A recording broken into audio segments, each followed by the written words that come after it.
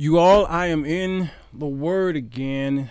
I have to be in the Word uh, because if I'm not in the Word, then I'm going to be coming up with stuff out of my head, and I, and it would just be my word against your word, or my word, my word against the Word of God. Um, so today is an interesting show because of, we've done several tithing shows down through the years, but this week was tithing week at the time of this recording. It is uh, beginning kind of first week of second week of J- July, and uh, down through the years, y'all, you've been tuned into the Sir Walter Jones show. You know my take on tithing. I've been very dogmatic on that. I'm not so dogmatic on tongues. I'm not a cessationist per se. So I let y'all do what you do. I don't bother you that much. I just don't want you pushing that stuff on me and my children. Tithing, though, I'm extremely dogmatic on it. Tithe if you feel like it. It's your money. Do whatever you want to do. Like J.G. Wentworth. I need cash now. Okay, do whatever you want to do with that money. That's yours. Okay, you need a structured settlement and you need cash now. Pay it. Stop coming over on my fence, jumping my fence and coming on to my grass and stuffing on my grass and tell me what I need to do with my grass. That's the problem we have, especially when it is taught incorrect. Today we're doing a case study. And we're going to use Bishop I.V. Hilliard as a case study to show y'all the type of teaching. I'm using him because he is a prominent man in the gospel. He's have a lot of sons in the ministry. I have not watched the video at all. It's an hour long, but we'll see if we even need to play the whole hour because if we see that they're repeating, then we'll stop it and we'll end the show. But I can almost guarantee you what's going to happen. I can guarantee you that you're going to hear the word principle a few times. I can almost bet my house on the word principle. Now, I'm aware of Hilliard's teaching on tithing, and so he's not as dogmatic with the curse part. I do know that without watching this, what we're getting ready to play. So he is not for the cursing part. I do know that about him, and I appreciate that about him. So you won't see Malachi 3 abused, probably, I'm hoping, in this particular show that I'm about to play. Teaching, whatever you want to call it, right? But before I play the video, I would like to say that there is an easy way to check the facts. It's really easy. And I'll show you in two places in the Bible. It's really right there. For those who are trying to make you tithe under the law, it's easy to check that out. When it gets to the custom, well, we got to go through this video to see what's going on. I'll see you in 60.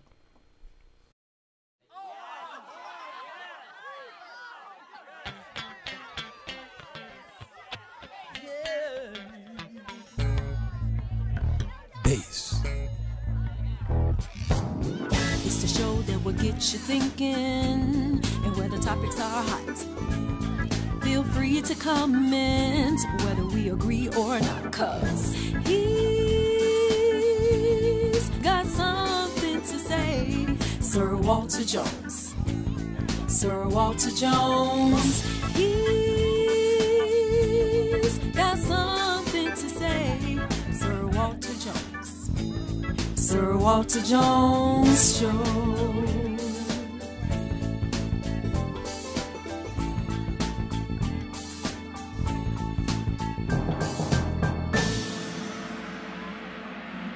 Come on in. The water's fine.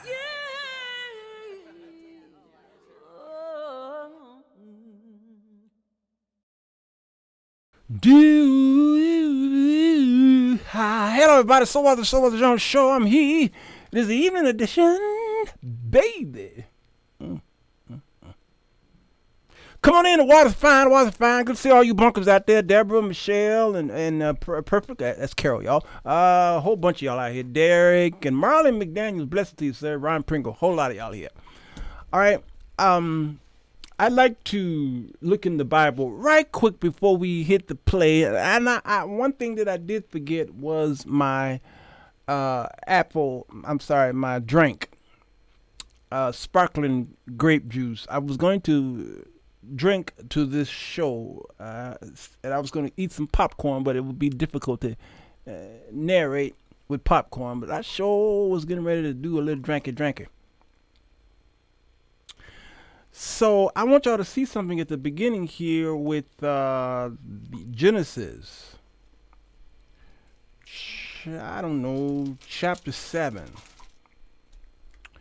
I want to show you the vernacular of King James and then try and figure out how are these teachers uh, teaching the way they are when there is a consistency throughout the 1611 language. It's an Old Norse. We call it Shakespearean. 1600. And we don't really have the original King James. None of you have the original King James of 1611. None of you. All of you have the 1700 version. Some of you have the 1800 version, okay? So let's stick with the 1700 version. The language here is consistent throughout the Old Testament. Yet, when y'all get to Malachi, you changed the meaning. See, it's easy to check certain things.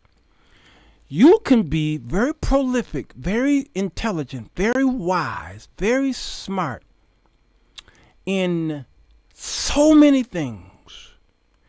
But one thing in your life could be so jacked up it's amazing. And this is what we see in pastors, and preachers, and elders today, ministers today. So well equipped and very well versed in the plethora of things throughout their life. But that one thing, they can't get that one thing right. That could be with their flesh, drinking problem, drug problem, how many times have we seen great men fall from grace? Well, no such thing, but you know what I mean. Just fall. Who was really admired by so many people around the world, but they fall, fell because of that one little struggle. I see that happening with the church with that sense of illiteracy. You could be so great and be wealthy and get to the Bible and this one thing you hold on to. That is almost like a mental illness in a sense to see something or see it used throughout the scriptures and then when you see it again you change the meaning because you needed to say what you've been taught you have been engineered to walk like an Egyptian. You are a robot to that one thing. You say you are your own man, you have your own mind, and you have your own heart, and till you get to that one thing and you show that you've been engineered. Look at this. This is the ark, Noah's ark. This is Genesis chapter 7. We know the story. To gather the beasts, fowls, and all that good stuff. Now check the language because I'm using King James. All right, when you keep going, let me get rid of. When you when you keep going, uh, you'll see Noah was six hundred years. Wait, hold on. For yet seven days, and I will cause it to rain upon the earth. That was a clue. Forty days and forty nights. Every living substance that I have made will I destroy. Noah was 600 years old. Now, water keeps showing up here. Here, and Noah went in, and his sons and his wife, they went in. Because the waters, again, of clean beasts, he, he gathered up the, beasts and what have you. Then went in two. And it came to pass after seven days, the waters of the flood were upon the earth. Right here. In the 600th year of Noah's life, in the second month, the 17th day of the month, the, se- the same day were all the fountains of the great deep broken up, and the windows of heaven were opened. Was that a financial blessing? Hmm? Was that some kind of spiritual blessing? Hmm? Because the next line says, and the rain was upon the earth 40 days and 40 nights. Why? Because the windows of heaven were open. Everybody understand what that means, right? Okay. Okay. All right. All right, you do. The footnote says the flood became as the fountains of the great deep were broken.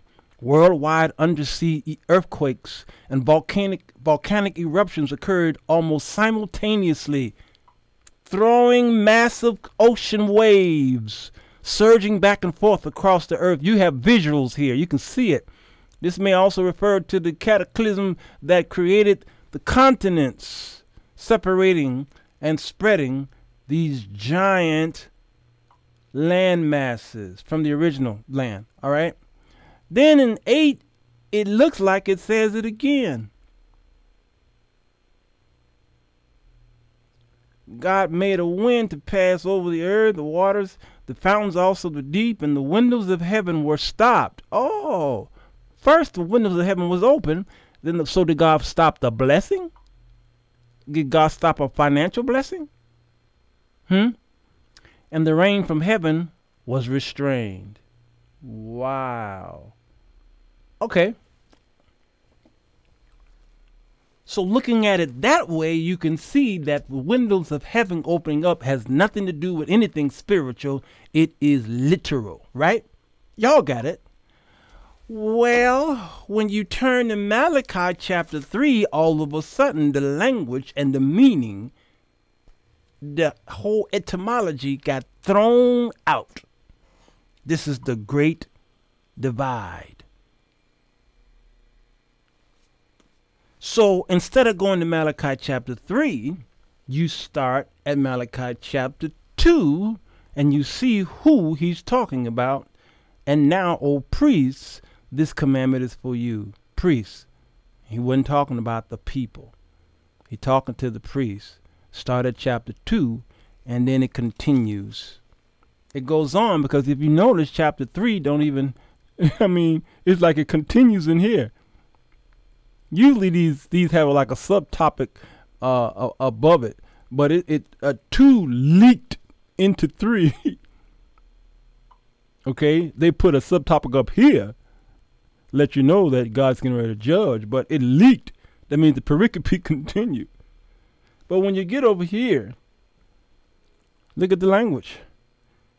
Bring ye all the tithes into the storehouse notice how my Bible keep putting uh, letters next to certain words.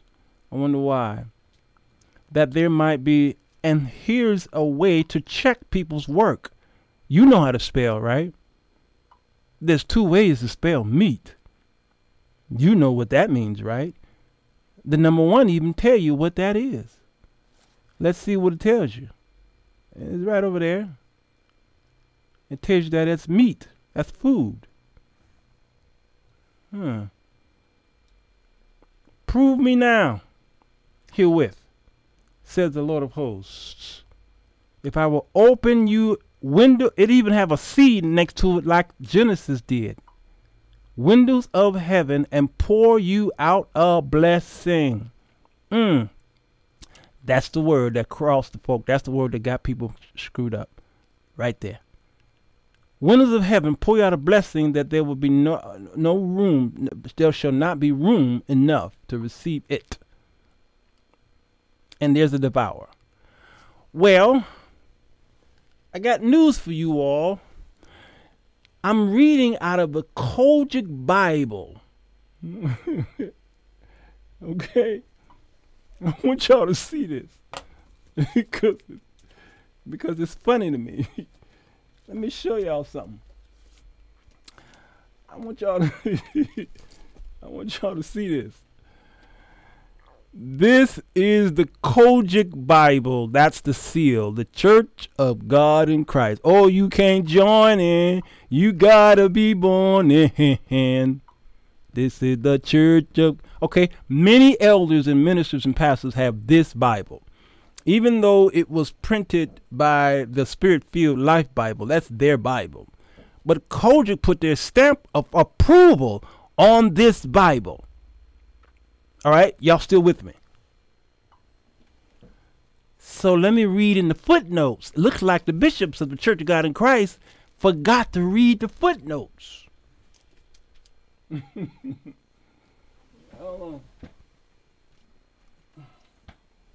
now, this is the manual of the Church of God in Christ. And in the manual, uh, there, there's some things in here that it's telling us to do. There's certain ordinances in here that, that that's that's kind of suspicious.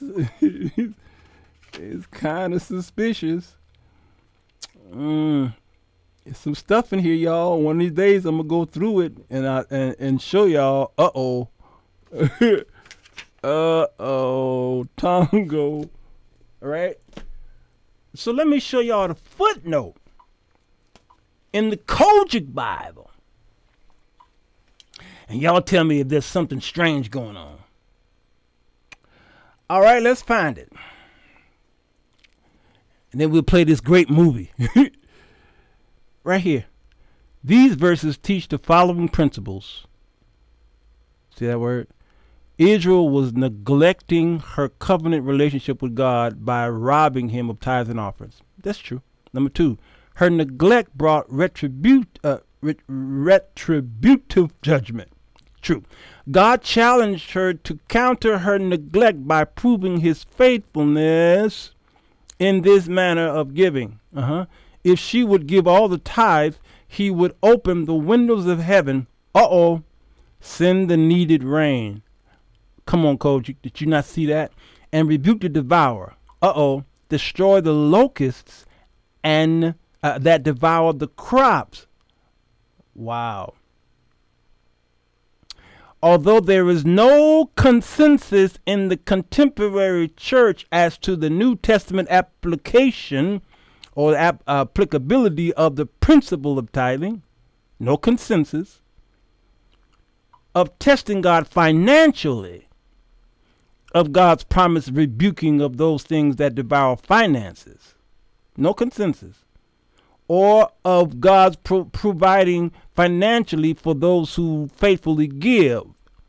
There is general agreement, though, general agreement, though, that the New Testament teaches us to give substantially to the Lord. Notice that.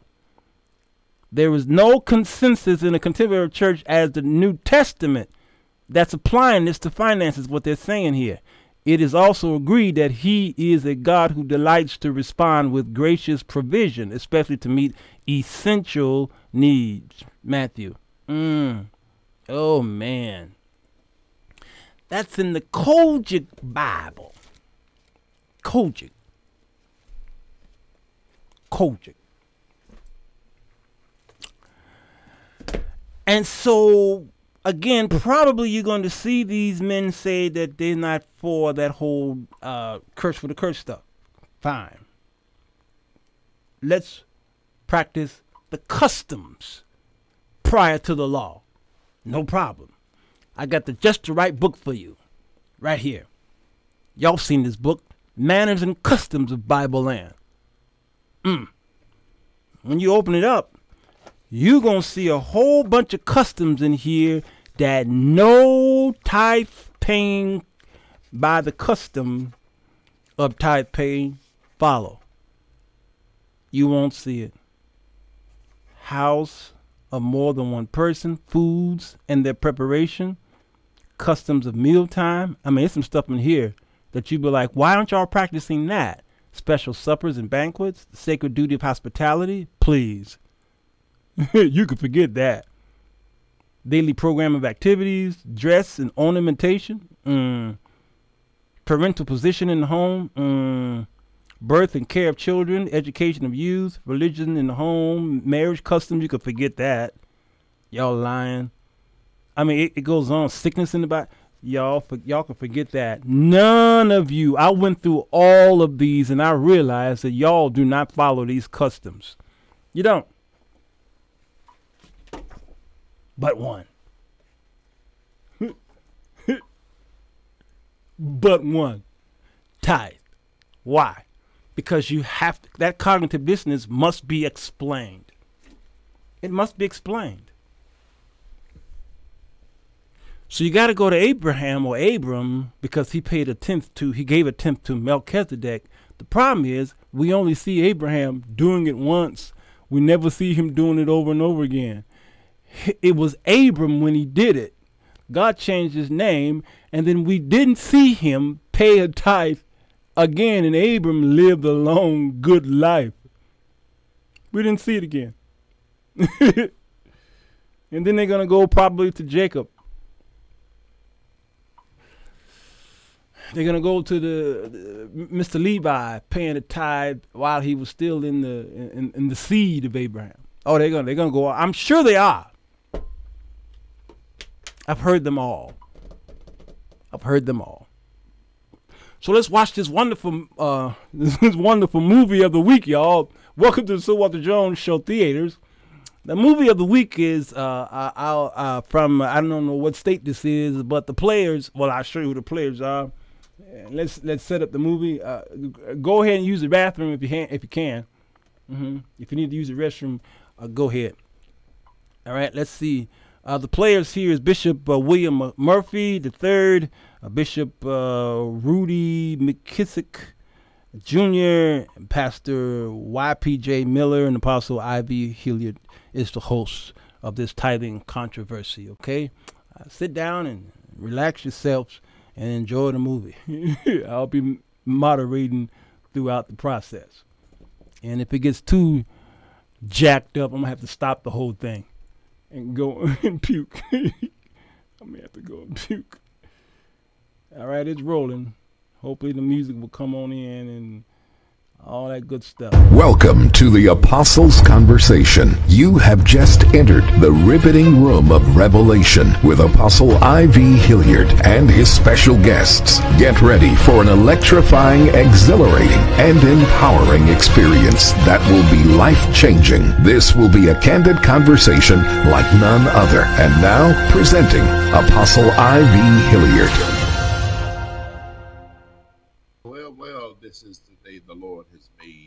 I will rejoice and be glad in it. Welcome to our conversation tonight. And uh, tonight we're going to have our, our guys come on, and we have a few technical difficulties, but we're going to work through them. All right, the conversation tonight is on the tithing controversy, and I'm sure something will be said that will be a blessing to you. Amen and amen. So let me bring our guest on. I've, I've got uh, uh, um, Bishop uh, McKissick. He's uh, I, he's I think he's in uh, he's in Dallas, Texas. He's got to preach in the morning. Okay. He's in Dallas, Texas, and the hotel there is having Wi-Fi problems. But hey, we will not we will not not be denied. I have him on my phone, so he's going to be chiming in on the phone. Bishop, how are you? Hey, Dad, I'm right here. How are you doing? Everybody, y'all can't see my face. Y'all hear my voice. But prayerfully, before it's over, y'all will see me. All right. All right. Bring the other two guests in, our two uh, conversationalists. Uh, there is um, William Murphy, amen. And uh, then there is YPJ. How's everybody? Hey, Dad. Peace, peace. Yes. How's everybody? Dad, I'm doing good. You know, I'm I'm uh tomorrow night I'm uh at the House of Blues in New Orleans, Louisiana. It's an early release of Worship and Justice. So this whole week is Worship and Justice, everything. I'm going to be in New Orleans this Sunday night. Um, I don't even know why I'm talking about it. It's already sold out. There are no more seats. Uh, it's at the House of Blues. So mm-hmm. that's really exciting. But on Tuesday night, Dad, I'm going to be uh, doing some music for the Full Gospel Baptist Church Fellowship, which I'm a part of. Okay. And uh, that meeting starts Tuesday, Wednesday, and Thursday in New Orleans, and then Sunday, all day Sunday. What's this advertisement? Why you advertising? It's all about worship and justice all day. We're just gonna worship God. He didn't day. bring you on for that, William. William. About this music that God gave me, I was uh, I went to uh, celebrate my grandmother's life, Dad, on this Friday. Yeah. And uh, one of the mothers from my dad's church I sent her one of the songs from the record called "The Just Shall Live," the song that I played for you and Mom. Right. And, I need to passport forward this. La- my last two records, God's given me a song that I got from your teaching, and Tithing. this was one of them. The just shall live by faith. Tithing. And she was in the hospital, and as she started to listen to the song, her body started responding and that's why God gave me that song. I'm so excited about it, and uh, all this week it's all about worship and justice. So, Amen. praise God. Amen. Yes, sir. P, talk to us. What's happening in Indiana? You're not selling well, First of all, Bishop Murphy, I'm excited about the album. I know it's going to be a blessing, and I'm in agreement with you for these Grammys, man. It's time mm. for you to get these Grammys, man. So, man, thank you, man. Mm. Yeah, everything is good, Apostle. I'm just over here building, doing dealing with electricians and plumbers and all this other stuff. It's not oh, fun, but it's we getting it. Okay. So, my hats off to you. My hats off to you. Our numbers are going through the roof. I think they're ready for us to get into yes. conversation. But uh, prophesy, hey, uh, Bishop Rudy, what's happening? We always do this for those who may be watching the first time. We, uh, let me fast forward. Uh, but for what I've heard from those who've read, that the majority, the great majority of the comments have been supportive of our position. Okay. Our position is a position really that is scriptural. And so tonight, that's what we want to talk about. We want to talk about this controversy. Yes, Denise, I, I, I know that, that video. If you have not, yes, sir. Yes, Denise, I know the video of him speaking by himself. That was a couple days ago. So I already know his take on it. I want to hear these other brothers' take. Your microphone, can you just lift it a little bit because it's going in and out? The people need to hear you. Okay, thank you. Is that better? Yeah, when I get ready. Yeah, oh, thank you. I said the uh, the uh, my my response was um, in answer to the uh, group of pastors. I have several hundred pastors that I talk to monthly, and uh, on our Power Talk, and uh, I wanted to address it. Uh, it's biblical. It's scriptural. And uh, as I said, it has gone viral. I don't want to be too repetitive, but if they were y'all weren't hearing me, I want to make sure that's the case. Everybody hears that because it is a blessed principle. Y'all wrong. and I wanted to bring clarity to it. Uh, not trying to be combative, just want to be clear. Amen. Me too. Not combative, but just clear. Good. And I've gotten I've gotten a great response from the body of Christ. Great response. Yeah, I know why. Wow. Who's next? You okay? So my tonight, turn. Gentlemen, oh, the floor is open. I, I, Let's have this conversation on oh, tithing. I thought they saw me. I was getting ready to speak. It was quiet. I think uh, for me, this has been a challenging week because, as stated, uh, there is a great deal of confidence in many of our faith teachers. You being one of the most sound voices in the kingdom of God, I'm certain of that, um, um, as well as the other voices that have been sound. So a lot of people have been, I would say, unfortunately, confused and so I think there's a great deal of appreciation of your perspective because there was, I feel, a great deal of soundness with it, but as well, it wasn't combative.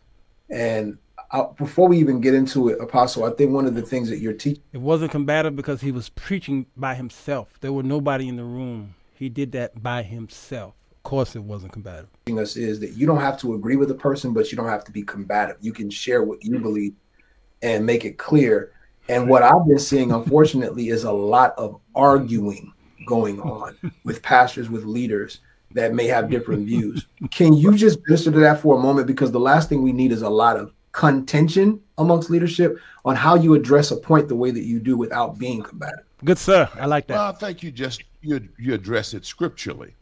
People are going to hear what they want to hear. Sounds familiar. Because yeah. people, uh, Bible call it itching ears. They are looking for whatever supports their perspective. So yes, the way sir. you do it is you just be biblical, and uh, you let the scripture speak for itself. Yes, I agree. And on this issue, it is the will of God. Yes, sir. See, it is the will of God for the believer to, to tithe, to honor him Oh wait, hold on. as source and sustainer of our lives, Wait, and honor him with tithes and offering. wait. You said it's the will of God that we do this. So if it is His will, then we should do this. This this is like a commandment in a sense. If you're saying this is His will that this happens, this happens, that we should do it. Okay. Well, you say, well, how can you say that? What tithing, as we have stated, tithing was before the law. Oh, here it comes. Tithing was before the law. Right. Now, when the law of Moses is written, it is written so that we can get insight into the heart of God, the mind of God. It explains what God wants. Now, then, um, so tithing was incorporated into the law. And then, of course, we see tithing after the law. Jesus says, This ye ought to have done. Now, he could have done away with it, so you don't need tithing more. but That's not what he said right. in Hebrews, New Testament church. Mm-hmm. Paul is the writer, and he says, We do not know if Paul is the writer of Hebrews. Their science has not lined up to that being him. So you can't be dogmatic that that, that he is the author. he gives this illustration of how Abraham tithed into the high priest of his day, and so ought we tithe to the high priest of our day, Who's that? Jesus. Oh, It's crystal clear. And so I think the way you way you way you you don't get personal, you don't attack people personally, but what you do have to do, you have to be scriptural in what you say. Right. And so um, uh, God's not the author of confusion. Uh, but but but some of your teaching is uh, the book of Acts is a narrative book. Are we commanded to do everything from Acts chapter one all the way to the very end? Did the Holy Ghost come and came on those 120 in the upper room? Do we now have to tarry on the altar and, and ask the Spirit to come again? Because it's in the Bible that they did that. So do we have to do it too? I'm tying this to your tithing custom. He's not the author of confusion. Mhm. And I think anything that we say that we cannot back up scripturally wow. cause confusion. And so you just have to be prayerful when you're going to address something. And so um, um, and and then of course as as I you know in my in my in my presentation, I've been a tither. I started tithing when when I wouldn't my church wasn't even teaching tithing. Wow. I wasn't a pastor, so I didn't start tithing because I'm a pastor. I need everybody to tithe. I need to, I need to show them the way. No, I started tithing because when I read the scripture, I could see crystal clear that I am to honor God with a tithe, a matrix of 10% of my increase. Abraham did it, Joseph, uh, Jacob did it. Uh, and so I was to do that. those men did a whole lot of other stuff as well. Um, they their blood sacrifices was before the law. It too got implemented into many nations around the world. Pagan nations uh, uh, did blood sacrifices to their gods, so that the old uh, even Moses' father did like did that before he. I mean, uh, uh, all this stuff was before the law. Uh, circumcision uh, was before the law. Uh, there was so much before the law. Why again are you exclusively picking the tithe? And with an expectation of God to bless me. Right. I did it with an expectation that God is going to bless me, and He did. So, you know, I'm, like I said, I've never been at the mercy of any theological argument on it Right. because I've proven it in my own life. Dad, I, I was, um, of course, you know, uh, I've got quite uh, quite a, a few young folks in our church who are trying to understand, you know, the law of God and how they're supposed to live their lives. And so, of course, being here in Atlanta, you know, I got quite a few questions about it. And I was excited to see one of my daughters uh, post something on social media that said, I don't care what y'all say, I'm paying my tithes. Because people understand that, you know, old school Baptists used to say, you can't make me doubt him because I know too much about him. yeah, you know, you Right. this is something that you can't you can't make me doubt this because I heard you say this, it's too late. I've already got the fruit of it. And so I think um, the core of the message, and, and I said this a few weeks ago when the whole debate about Roe versus Wade and you know where the church should be and what our position should be on that. And my post was this that Jesus always lovingly led people into righteous choices. That that our conviction should always be to love people into it and not to scare people into it. And I think this whole idea of uh, tithing because you're afraid of what might happen if you don't is what needs to be done away with. Yes, but when the POTUS got rid of Roe versus Wade, you got upset about it, William Murphy. Uh, you you you walked away from the tenets. I mean, you know, abortion is killing a, a, child. We're not even talking about your usual fighting over the, the the the life of the mother or rape or incest. We're just talking about the regular, purposely just aborting a child because you don't want the child. You yourself, William Murphy, I heard you in your pulpit say that POTUS did a bad thing it's this so it's difficult to hear you teach on tithing because I, I know that um, that you're not cold or you're uh, you're not even hot. When I want my tea hot, I want it hot. If it starts losing its hotness, I don't like it. So I put it back in, in the microwave and make it as hot as possible. I want it to burn my tongue. That's the way I like my tea. The more warm it gets, the more I hate it. But I want my pure leaf to be ice cold. Right now, it's almost solid. There's some liquid there, but the bottom is solid. I like it for I like for it to not to be total liquid because I won't like it because I consider it lukewarm.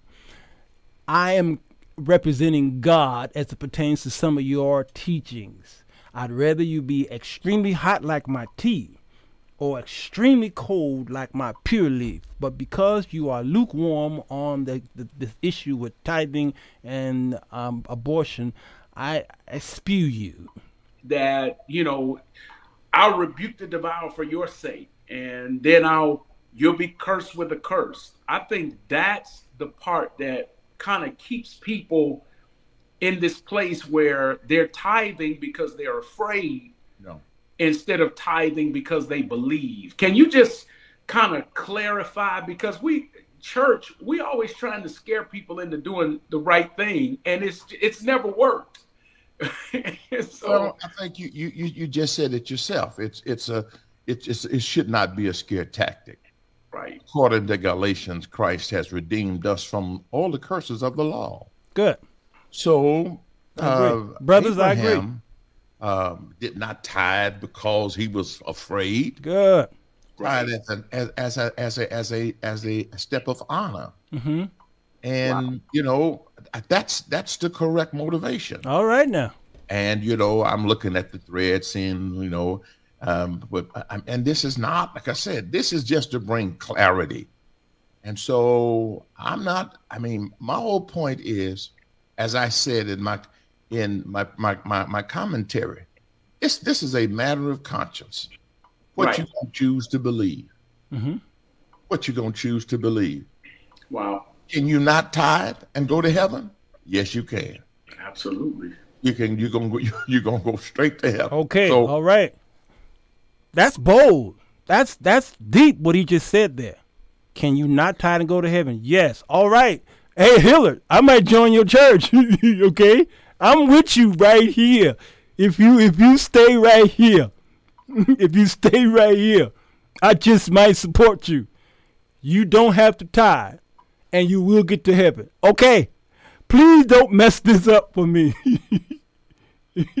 don't mess this up. It's it's a matter of whether you can see and believe this biblical principle. Ah, There's the word. there is the word. There is the word. Principle. Please do not tie principle to salvation because many of your followers have done that. Many of your sons in the gospel, Dad Hilliard, keep telling me that it's a principle, but it's tied to your righteousness, which is tied to my salvation, which means Jesus dying on the cross did nothing for me until I tithe. Please don't do that, Hilliard. Please. I got faith in you, my Muslim brother. and act on it and get the results. Wow. Not out of fear. Yeah, and, and it has been true. Pastors have taught it out of fear because Right. they, they they had not come into revelation that we have been redeemed from the curse of the law. And so they hmm. taught it out that way. And that's not the correct motivation. It's not. And so it needs to be taught that we honor God as Yeah. source and sustainer of our lives. Proverbs um, chapter 3 says, We honor him with our substance. Substance. So I honor God with my substance. Good. As a result of my honoring God Me with too. my substance, he promises to bless me. Okay. Yes. Now, the blessings that are under the law have not been canceled, thank God. Okay. Thank God. So when I read the Old Testament and I read the blessings that are in the Old Testament for the righteous, oh, I, I'm able to claim those as well. But it's not about trying to be combative. You, a person can have their stand, fine. I'm saying, you know, in the body of Christ, we got different stands on a whole lot of things. Got it? That's one part about of Christ don't believe in speaking in tongues.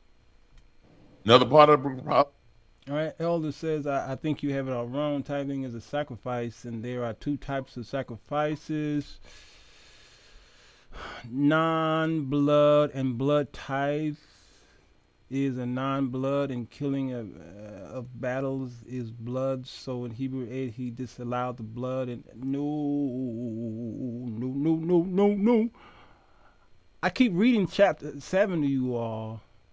Uh, Let me continue, Sean. Let me continue. of, of body of Christ does. I respect you. Oh, we don't have to fall that- out. Let me. I'm gonna put that in the favor. But, but my point is, what is my matter of conscience when I read the scripture?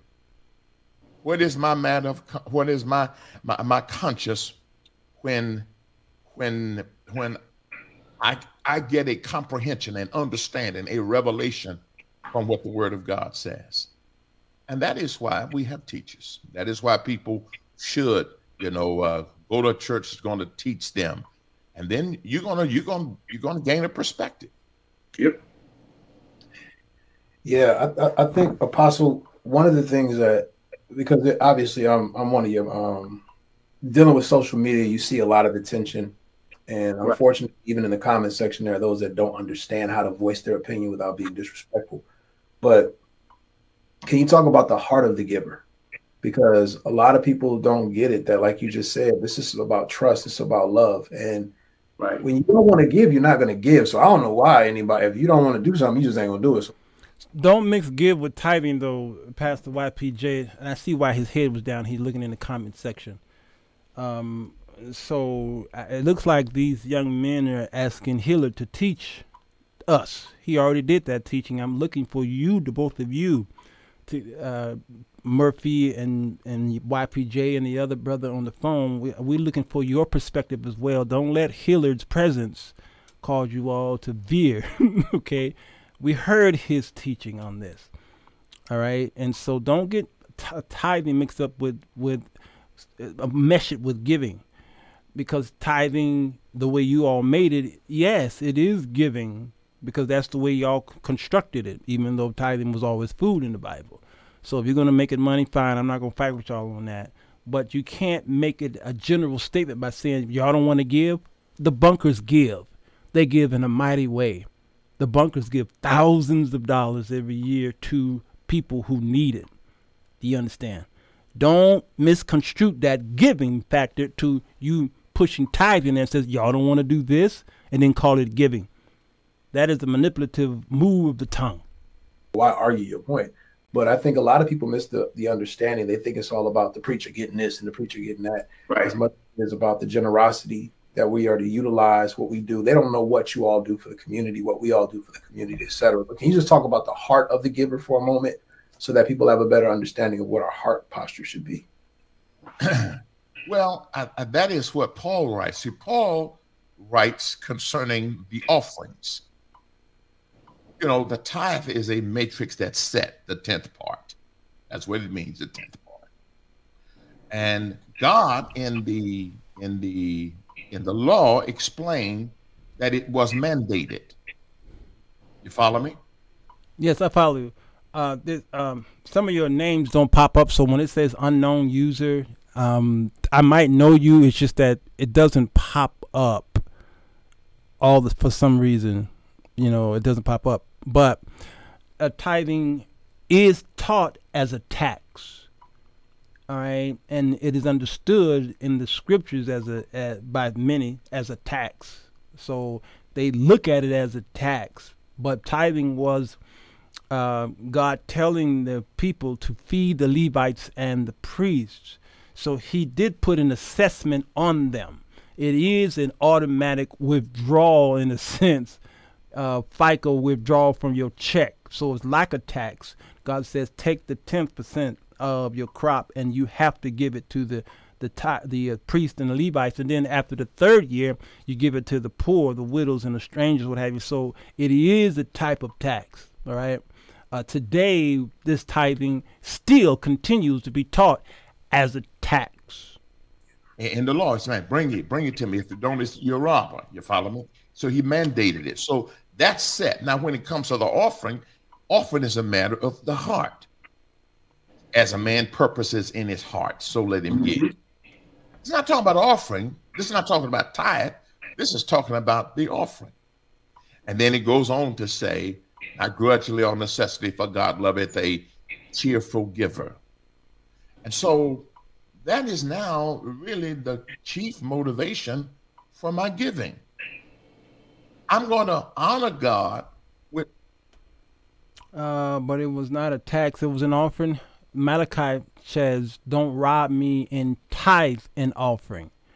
Tithe and offering. So was it offering offering? I get what you're saying. Again, I wish your name popped up. Um, type your name in a comment, you please? Because why is it saying unknown user? All right, no, it is it it was it was just like the temple had a tax. After this show is over, this their teaching, I'll show you the temple tax. That was money, and the food was a type of a tax. Mm-hmm. No, we he's we talking about under the law. Don't mix the two up. With with with with with with the tithe, but I'm honoring him also with an offering, and he leaves that to how I purpose in my heart. And when when when I've gone through some challenging times and I wanted to demonstrate to God, He's the source and sustainer of my life. You are who I'm depending on. Follow me. I'm motivated to give more. I'm mo- I understand the part of sacrificial giving. So when I need God, I need to pay Him to help me. So with the same measure that you give, the same measure will come back to you, right? So if I give a tithe, are you saying that then maybe my my uh, cancer will leave my body, my body will be sick, okay, or um, uh, uh, some miraculous thing will happen where um, I, I, don't know. We we tend to tie tax. We we tend to tie the tithe to everything that God can do for us, and that right there is another type of dangerous teaching because we made God an extortionist. How is it that you're giving money so that God can heal you of, of something that, that's ailing you or your grandmother or something like that? When Jesus died on the cross, okay, prior to that, we see in the book of Isaiah, the scripture says uh, that uh, he was wounded for our transgression. All right, and it talks about the he the the side of the stripes. Okay, the healing. So by his stripes we are healed, or by the tithe paying we are healed. Which one is it? And so it's a matter of the heart. But the heart now is is is trained, uh, uh, developed through the Word of God. Wow. So as I hear the Word of God, I am now saying yes, and I've I've committed myself to giving far beyond the tithe, way yes. beyond the tithe. Yes, way yeah. beyond the tithe. Dad, I was I was um I got a chance to I told you I was with my The storehouse is not the church. Uh, Peggy, the storehouse has never been the church. The storehouse wasn't even the temple back then. The storehouse were the Levitical cities where you stored the food. You didn't store. Uh, can you imagine is, all of Israel taking their food and bringing it to the temple? Hear me. Can you imagine all of Israel who produced food from the ground bringing it to the temple and bringing all that food in the temple for just a couple of a few Levites and priests. Huh? What? How? How are they going to store it in the temple? Hmm. Hmm. Hmm. That's a problem. My uh, family this week, and uh, going back to my granddad's church, church that I grew up in. Um, and so many people that uh, I saw, and it brought back so many memories. And I started thinking about people in that church who were so faithful, and the families in that church who were so faithful, and yet that there might be meat in my house. You go to the refrigerator out where you store your food and bring it to the Levites and the priests. They are in the house so that the Levite and the priest might eat in God's house. Why? Because they did not have an inheritance. They did not have land. They didn't have a place where they went and they uh, they you know they tilled the ground. They didn't have an inheritance. God was their inheritance. So the Levitical cities stored the food. Those men worked in the temple so that there might be some meat there. That's what that is. It's that King James vernacular that messes us up there were some people that I thought about who were present and served, but they struggled financially and amazing people, but but never really had enough. And what puzzles me about this whole controversy of the tithe is that I could understand if everybody was tithing and everybody was still struggling. But I don't know one person who is a consistent. Tithing was always food. That wine is food. Uh, unknown user. Oil is food as well, depending on what type of oil you're talking about. Are you talking about olive oil? And sometimes it did include money. It never did. Show me where the money was, and, and I'll and I'll apologize to you if you can give me scripture where tithing was money faithful tither who has money problems. I don't I don't know one. Did you hear that? He says he don't know a faithful tither who's got money problems. Holy cow. This we're 22 minutes in and that is the worst that I've heard yet. Everybody that it, the average person who borrow money from me are tithe payers. Tithe payers lost their homes during the 2006 uh, financial mesology with the whole the housing bubble. Tithe payers got their cars repoed. Ask me how I know. They were calling me, asking me to give them a. Tithe payers went to the government for PPP loans. The churches went to the government a tithe receiving agent went to the government for PPP loans and all kind of loans to get bailed out. The churches did that.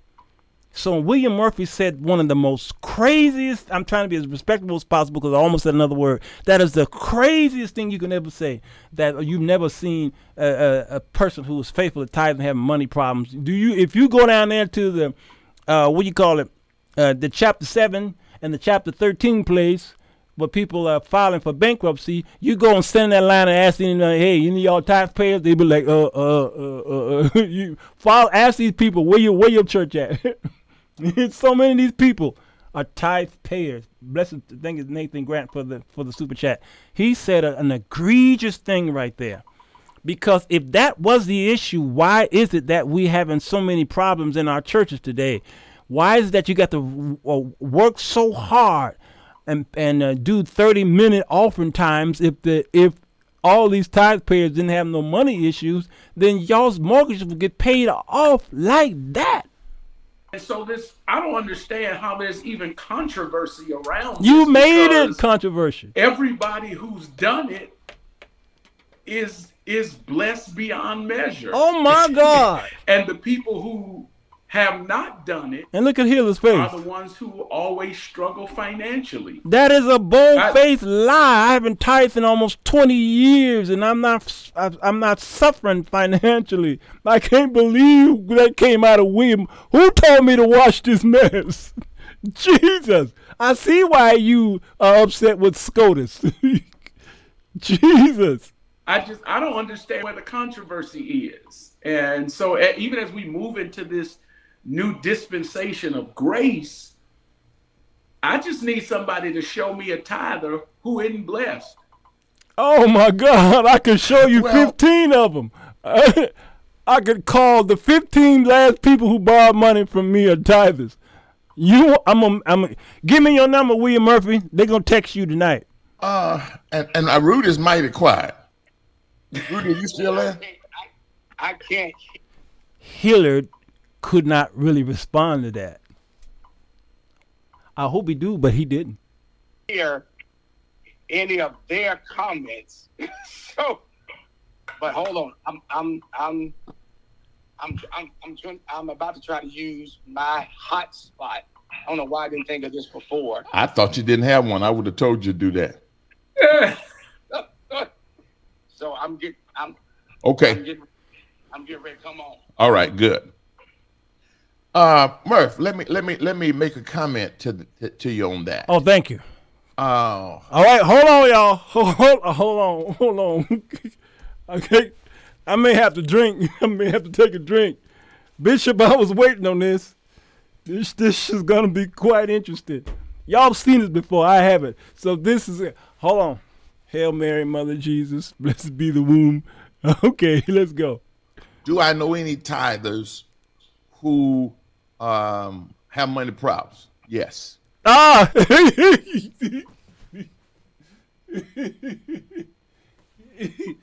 Did Dad? Did oh, hold on, hold on. I I ain't gonna leave me rewind it. I'm gonna just continue. Okay. And and let me tell you why. Tell me, please. I'm. I'm. Because the promises of God are received by faith. wow. And if a person why you going wild? Because that's your dad. if I had said that, you'd be like, "No, Elder Jones, no, no, you wrong, sir. No, man, Walt, you wrong, dude." But because that's your dad, you wild on him. I, I'm so tired of you spiritual sons. I'm tired of y'all. William, I need you to call me, man. Come on the show. Wow. I just, I just, I don't like this show. I don't like this show. is tithing based on fear and they are not in expectation and their faith, nothing's going to happen. There he is. There he is. I'm here. Uh, unknown. I know you was gonna bring that up. The money was used because you could not carry the tithe uh, to a place where God was going to show you, so you had to sell your tithes and collect money. Now the money in your hand ain't tithe anymore. You understand? Oh, that's uh, D. Whitley. Man, this is Doc D. Whitley. Thank you, man. Your thing ain't showing up for some reason. And then you went to the festival place and exchanged the money back to a tithe. Do you understand? So it was never money. Money was used as an exchange to do something with tithes. Money wasn't the tithe. Money was used as an exchange for a tithe. Hope that makes sense. let's continue because uh, brother Rudolph is here. I don't know. I didn't think about my hot spot. I had We know, we know you're old, Rudy. It's okay. You Jocelyn told you. We know Jocelyn told you what to do. It's okay. You made it. you know, I had a, I had a, a brother uh, in our, in our church who was with me way back when, and he would tithe faithfully, Wow. and he had money, but he would say out of his mouth, "Tithing ain't never blessed me. Tithing ain't never. I'm gonna give it, but it ain't never blessed me." And I said, you know, I would tell him, "You have what you say. Mmm. You have what you say." You went from wild to mm. Why am I watching this? And so years ago, you know, uh, when I'm learning, because before I could teach this, How do you have what you say? Huh? If that was that easy, what's the what's the I can be wealthy today if I have what I say. Yes. I had to have some questions answered. Wow.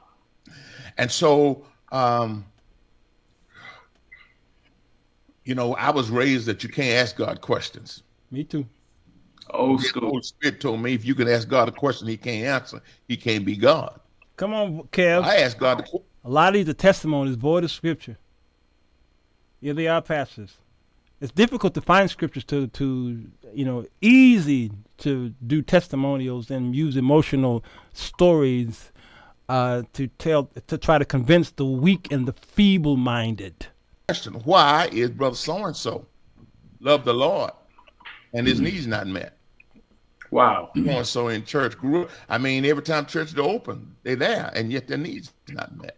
Yes. Here is what the Lord told me. He said to me then, that's when I got the revelation. The promises of God are received by I faith. received by faith. And it's there in the scripture. You get saved by faith, you get healed by faith. Hebrews 11 and 33 mm-hmm. says they receive the promises by faith. Wow. Well, faith comes by hearing, and you- hearing by the word of God. hmm So if the word of God and that promise is never taught, and the person never hears, now they may hear about salvation, they may hear about holiness, they may hear about faithfulness, but until they hear the word of God on giving and receiving, sowing and reaping, hmm they will not have faith for it. Yeah, uh, but you can't put giving and receiving with tithe and put them in one bucket and then tell the people who not tithing you ain't doing it even though they're giving. They're giving. They're not calling it a tithe. You are misleading the people in a great way, Bishop. Wow. Even though Wow. Whoa.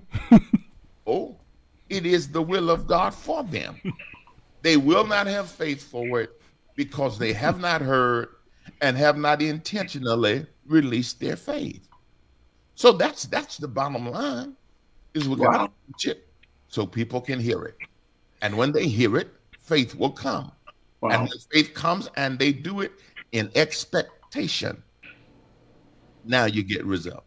Wow. Dad, you know, I, I, first of all, I'm glad I was able to able to, to, to, to. I don't know why I didn't think about my hot spot before. Maybe it's like Murphy said, I'm old, but I think you know, so much can be and, and needs to be said because, first of all, people who try to argue about tithing from a perspective of the law is erroneous because tithing was incorporated into the law but not introduced in the law Right.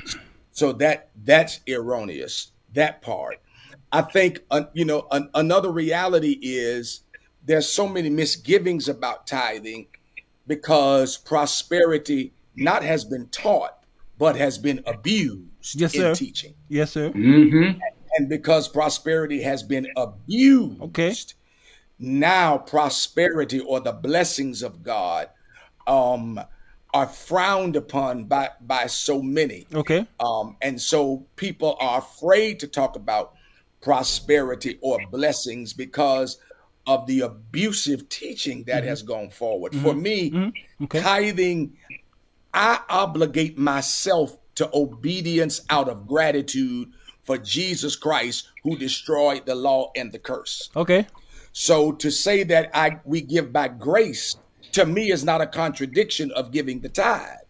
Huh? Because I give, I obligate myself to give Okay. Yes. because I am grateful for the grace of God. Okay. Yes. And I understand that what releases the hand of God is when I make the choice uh, to be obedient and I make the choice to understand the grace of God. So, Mhm. and all the people that want to argue about the tithe was a grain and the tithe was a this, you're absolutely, they're right. But Okay. you got to get beyond that Uh-huh. um, and and come out of the hermeneutic of that biblical day and deal with it in this day. Okay, okay, okay. All right. I'm ready. I'm ready. I'm ready. Rudolph so far. Uh, which one of these ones is not like the other? I think it's Rudolph is the one. Okay. Yeah, Rudolph Junior. So far, I'm with you. But the fact that you parted it for, I'm suspicious. I, I, I think if, if people can get beyond some of the erroneous teaching against tithing, you can't teach against tithing from the law because it was incorporated in the law, mm-hmm. but Right. not introduced in the law. Correct. And you can't mm-hmm. you can't talk against tithing because we're New Testament.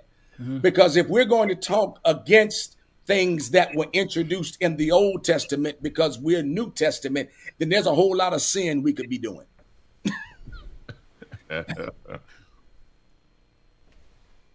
Is, is that it? The- Surely there's more. Oh, oh, most definitely. I think. I Okay, think, so think so there is more. that's that's crystal clear. No, it wasn't. And again, it- no, he left me hanging. I, I, he was he was right there. He was close. He he he. It's like a Maxwell Smart. He missed me by that much. okay, I was almost there. Can we talk?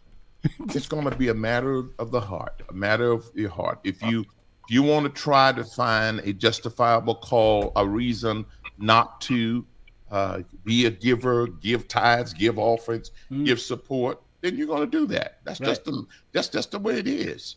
You don't need a controversy. You just in your mind, I'm not going to do it. Fine. And these preachers, you all have they want- your way. these preachers, all they want is your money. Well, you know, you're going to say that, but that's that's it. Has it been abused? Yes. Yeah. Oh yes, my God, has has has it has been abused. Giving it, it has been abu- abused, but just because there's an abuse, doesn't mean that the genuine and the authentic is not so. Right. So you know, yeah, um, um, I've I've seen guys abuse it. I've seen you know, but you know they're gonna have to answer to God for that. Dad, can I ask a question? Sure. Why is it that there that we are even having this big discussion and this big thing about tithing when when in reality we, liberality ought to be what what the ki- kingdom giving ought to be about anyway. You know Right. I, I said in the statement i'm making tomorrow at church uh, i have a foundation to my house. I don't sleep on my foundation. I, I don't eat from my foundation. I eat in my kitchen i sleep in my bedroom but if I did not have that foundation, then none of those would be possible. That my foundation is not my goal. It is just the starting point. And I feel like starting point. so many people are getting lost in the meaningless minutia of of the weeds of tithing and when in reality it, it as as kingdom and as people of grace and as people uh, who are believers Wow. liber- liberality Right. like why are they getting caught up in the weeds of that I'm waiting for your meat. I'm waiting for your M E A T. There's there's uh, brother Rudolph Jr. I'm waiting for the meat of your message because it's still you meshing.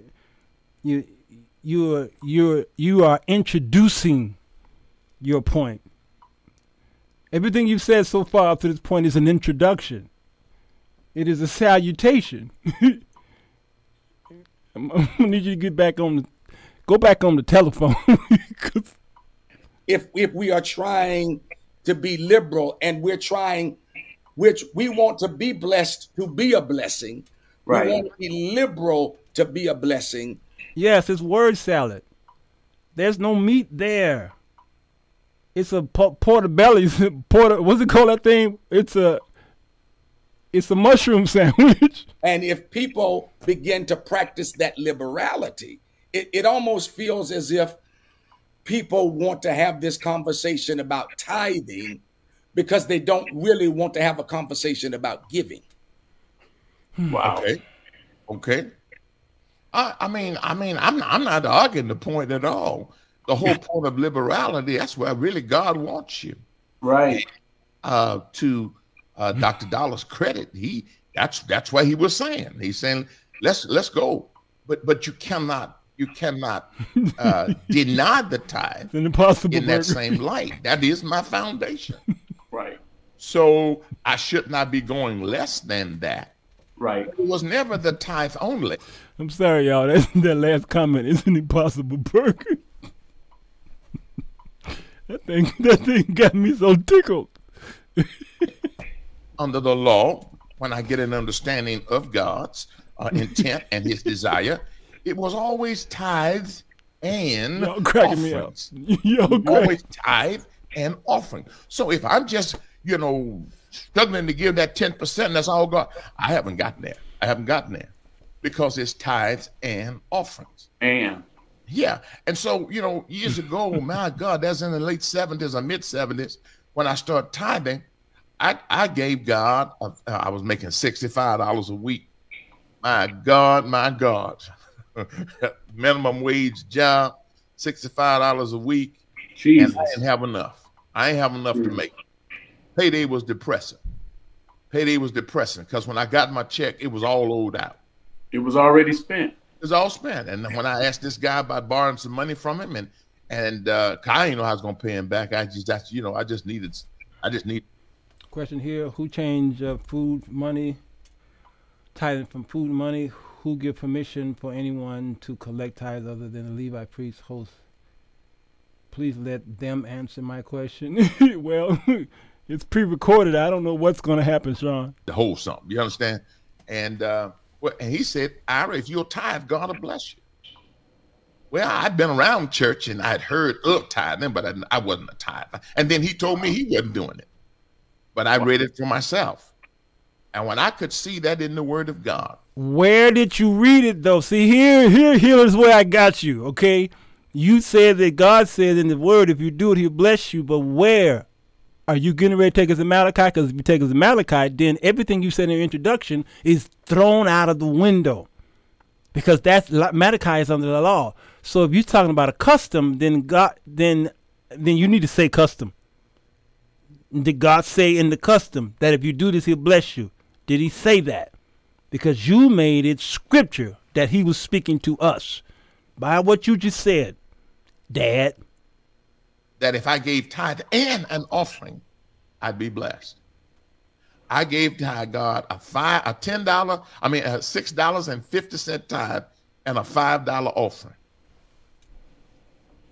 And I was, I'm telling you, I was expecting a move of God. The simple faith that Peter had when he said, "Nevertheless, at Thy word." I didn't have strategic. I didn't have a systematic faith. I didn't know how to the word of God, and I didn't know how to. do I know how to do that. All I knew was God said if I would do it, He would bless me. Now, God thank me. I still thought I was under the curse. I didn't have the revelation that, that that I had been redeemed from the curse. I didn't have that revelation, but I wasn't tied out of fear of the curse. I was tithing because I saw God would bless me. I would give my tithe and my offering, and I saw God come through. YP, you're mighty quiet. Yeah, YP. Oh, I'm just processing everything. Why are you on the show? Conversations like these are very challenging because what it really reveals is the immaturity that is around us and, and, and the Right. inability to have a, a mature dialogue. People just don't know how to have mature conversation. It's always combative, attacking, as opposed to considering. And I think for me, I've actually said, first of all, let me make it clear. I think Dr. Dollar is one of the greatest blessings to the body of Christ and his grace teachings, et cetera. He's done such a great job. Yeah. But I know very many people that I agree with on everything 100% in life. Um, Right. that's just life. You know what I'm saying? Said, I think we stick with scripture. And, and I think too, I would say this to a lot of because we've seen, I've seen, I'm kind of reading, I'm seeing a lot in this lifetime. If you try to humanize everything, you won't understand spiritual matters. And, and a lot of people are trying to humanize spiritual matters. And so they'll say things like, God doesn't need money because they're humanizing a spiritual matter. And it's challenging to have a conversation that does have spiritual premise with a person that can only see it through a carnal mind or carnal lens. Uh, You may have to use that, say that differently. Humanize spiritual matter. That's all we can do with spiritual matters is humanize it. You may you may have to use another phrase because that, that didn't that didn't add up to too good. And I know basic math, and that wasn't basic math. So for me, it is more so just listening and learning. Um, I'm always open. That's why I always tell y'all whenever y'all speak, I listen to y'all because I want to hear what you have to say. I think uh, how do you just reconcile those who see everything through the lens of human thinking when they rationalize everything? When mm. they're like, oh, they just want your money. Oh, they just they can't see there is a spiritual aspect to it that the faith walk is not natural. Can you just talk Right. about? Well, I, I thank you. I, I love y'all's questions because y'all answered when y'all asked, and and that's it. You know, I've got to I've got to renew my mind, and renewing of the mind is more than scripture memorization. It's Yep. about looking at things from a spiritual perspective. Yep. If I want to just take everything and look at it from a natural perspective, then none of it makes sense. None of the Bible makes sense. I'm praying to a God that I cannot see, and I'm praying to a God that I have never heard his voice. and you say, I'm going to a place of heaven, and I don't know anybody who has gone there and come back and tell me about it. So if I'm going to look at everything through a natural lens, none of it makes sense None of it. Come on, Cortez. and that's uh, in the same light of uh, I think in 1700 the microscope was uh, was uh, invented. Before the microscope was invented, then everybody was looking at everything through a natural lens, through their natural eyes. But once the microscope was invented, now they could see what they could not see with their natural eyes because there was a whole nother uh, microbiological uh, biological world out there. So, so it is with the scripture. The scripture opens unto me spiritual things. Now, I can choose not to look at life through the lens of the Spirit of God, through the Word of God. I can choose to do that. And I'm gonna say whatever I want to say. I'm gonna, I'm gonna do like most people. I, my, I, in my opinion, and when they do that, I go, well, no, I'm not interested in that. Antonio back in. Wow. And I just believe. oh, But I'm looking at life through the lens of the scriptures, the word of God. And the Bible says there is safety in the multitude the of multitude. So, uh, on issues where there is somewhat controversy, I think we need to have the multitude of counsel. And then that is what we have to rest in.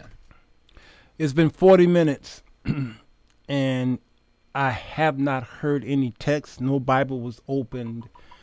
No hermeneutical digging exegetically. Just, just no OICA. It's just, it's just all testimonials and happenstance and hearsay and feelings. I mean, not none. And I'm just, I'm disappointed at this Praise because when doctors come together, they talk about medical stuff. When lawyers come together, if these were four lawyers, they'll be talking about legal issues. They'll be talking about the laws of their territories. They'll even bring up the, the Constitution. All right, they'll be talking about uh, the state's attorneys and all this stuff. They'll be they'll be digging deep into case studies and what have you. All right, and these men are bringing up some case studies, but at least the lawyers are bringing up case studies and tell you what the law says. Uh, section five nine eight, uh, third paragraph says blah blah blah blah blah. After they give a case study in the, the study of Roe versus Wade and blah blah blah, are these men of God who are supposed to be experts in the word? Because you pastors, you're not supposed to be novice. All right, so the opposite of novice is what, y'all? Can you tell me? So, First Timothy chapter three. So how could you have four men who are not novice and not bring up the law of the scriptures? And I ain't talking about Mosaic either. Dad, can you talk to us a little bit about the oh, purpose oh, Dad. of, of biblical giving, giving? Because I think oh, Daddy. another reason there's there's so much not only confusion but anger and consternation around this is because once again of the erroneous teaching from who give to get money and god Watch out, Rudolph. You're talking about somebody above you. Here's a story. Wait. Hold on. Hold on. Watch out, man. he right there. of a man named Hilliard. Be careful, man. The man can see you. That's that's, that's not that's nowhere in the Bible. That you you gonna get money you know, there are things I need money can't buy. Uh, but what is the real purpose? Because I think we have made so many principles in the Bible, including giving, selfish. There is this kind of me theology and me spirituality that is taught so much in churches now. You know, turn to your neighbor and tell your neighbor, God's going to get my enemies. I turn to your neighbor and tell your neighbor, I'm going to get this in seven days. And there's so much meism. And I That's Hilliard, dude. That's Hilliard. Did you watch uh the offering time of uh uh here in Chicago? Hilliard came here for a grand opening. And he said the exact same words, Brother Rudolph Jr. Hilliard is the man you bring in to collect your offerings. He right there. He can see and hear you. I think we have really lost. We look at his face. He's upset in the spirit. included that with giving now. That with you know, people are being taught they give because because and they look for blessing as if you're gonna bargain with God or as if God is some paymaster or or you know some genie when in reality biblical giving is first for us to bless others. Wow! Wow! that man just preached the gospel in that 15 second bit. Did you not hear what he said? he, he said what I've been saying all week, and it's to bless others. Did I not say? Rudolph, you are the smartest kid on this block, and you don't even realize that you're speaking against the group. You are the enemy in the camp of these three men. You just preached the gospel, and you don't even know it. That was amazing. I'm joining your church this Sunday. I'm gonna be there, Doc. Would, would you talk to us a little bit about that? There's, there's, uh, when you look at scripture, there's, there's several reasons for I call it kingdom giving. I give into the kingdom of God. He gonna backpedal because it honors God. It honors Him. I give into the kingdom of God for the work of God. The work of God has to be financed, and that's God's plan for mm-hmm. financing mm-hmm. okay. what the Bible calls the good works. All right. mm-hmm. Right? I'm with you. But I also give because of the returned blessing that's promised. Yes, sir. Okay. And that's not being selfish. That's right. just the power. That's just yep. the promise in the word. I teach that. Yes. everybody else, you can leave the promise on the table. Yeah. But I took it. Mm-hmm. I took it that God, God would bless me. Yep. Mm-hmm. And in in uh, Second Corinthians chapter nine, he Oh, says, come on. that He will make all grace abound toward you, Yes, sir. All that grace. you would always have Come all on. sufficiency Dad. in all things. Preach it, Daddy. Now that's so comprehensive that yes, because of my giving, mm-hmm. God is going to favor me. Mm. I- Wow. He will raise up others who will use their power, mm-hmm. their ability, and their influence to help me. Watch this. I believe it and I expect it. Mm. Favor comes before money. Mm. Favor comes before money. Whoa. And so, but I'm in faith for it. I'm in faith for God to talk to somebody about blessing me. Wow. And so, um, um, I, you know, I should I should be a giver to bless the kingdom of. I mean, to bless God, to honor God, Under God. bless the kingdom of God. You follow Uh-huh. me? So the work of God can go forward. How we do that? I should give also, you know, with the expectation Yeah. of God blessing me. Okay. Watch this. Yeah. And then I should be a giver Yeah. because I am blessed to be a blessing. okay. Yes, sir. I get all of that. I do that. The bunkers do that. But who are you giving to? And the whole giving cycle doesn't stop when I get my return.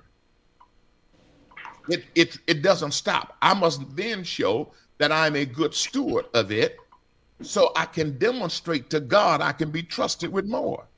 Yes, All right, y'all. The audio's off a little bit, so bear with it. sir. Yes, sir. And so, Yes, sir. you know, uh, p- p- everybody- you know, I'm looking at some of the comments. And so the whole comment is to bring clarity to the giving principle in scripture. Hold on, y'all. I got to put this in the freezer because it's it's getting lukewarm and I won't drink it. Uh, hold on. Nobody's trying to roast Dr. Dollar. No. Nobody's trying to do that. Well, Let's well, well, it started the conversation, but the conversation that we need to have is to bring clarity to it. Right. How do we give? uh huh. What is my expectation of giving? Uh huh. Right. Got it? Yes. And, and scripturally, does God expect me to give? Yes, He does. Now, when you want to look at the matrix of giving, I got to look at the matrix that God established in the Old Testament. He established it for the mm-hmm.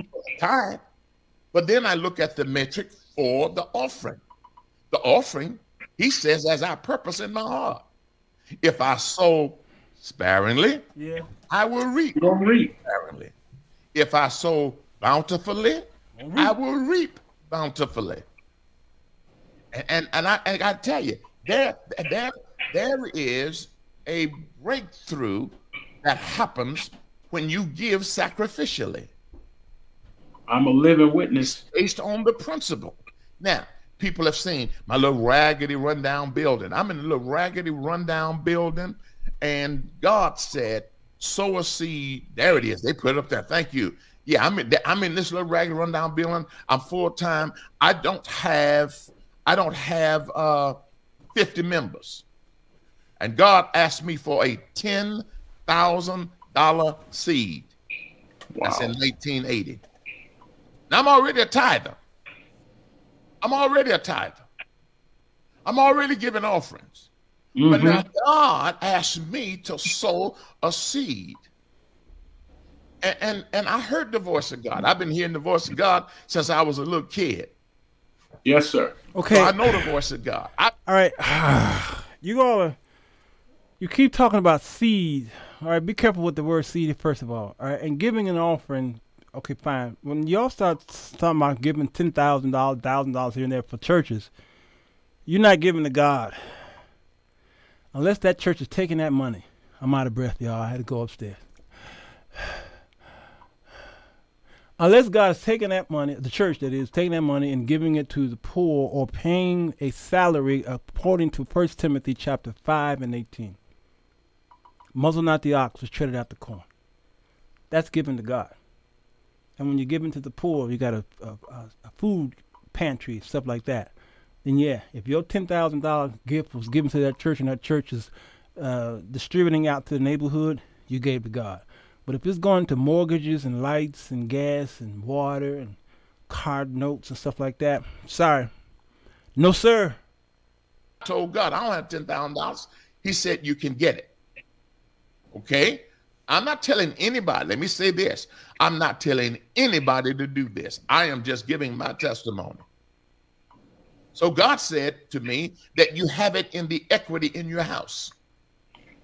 All right. I, said we need to talk to Bridget. I talk need to to, fa- Bridget. I need to fast forward this.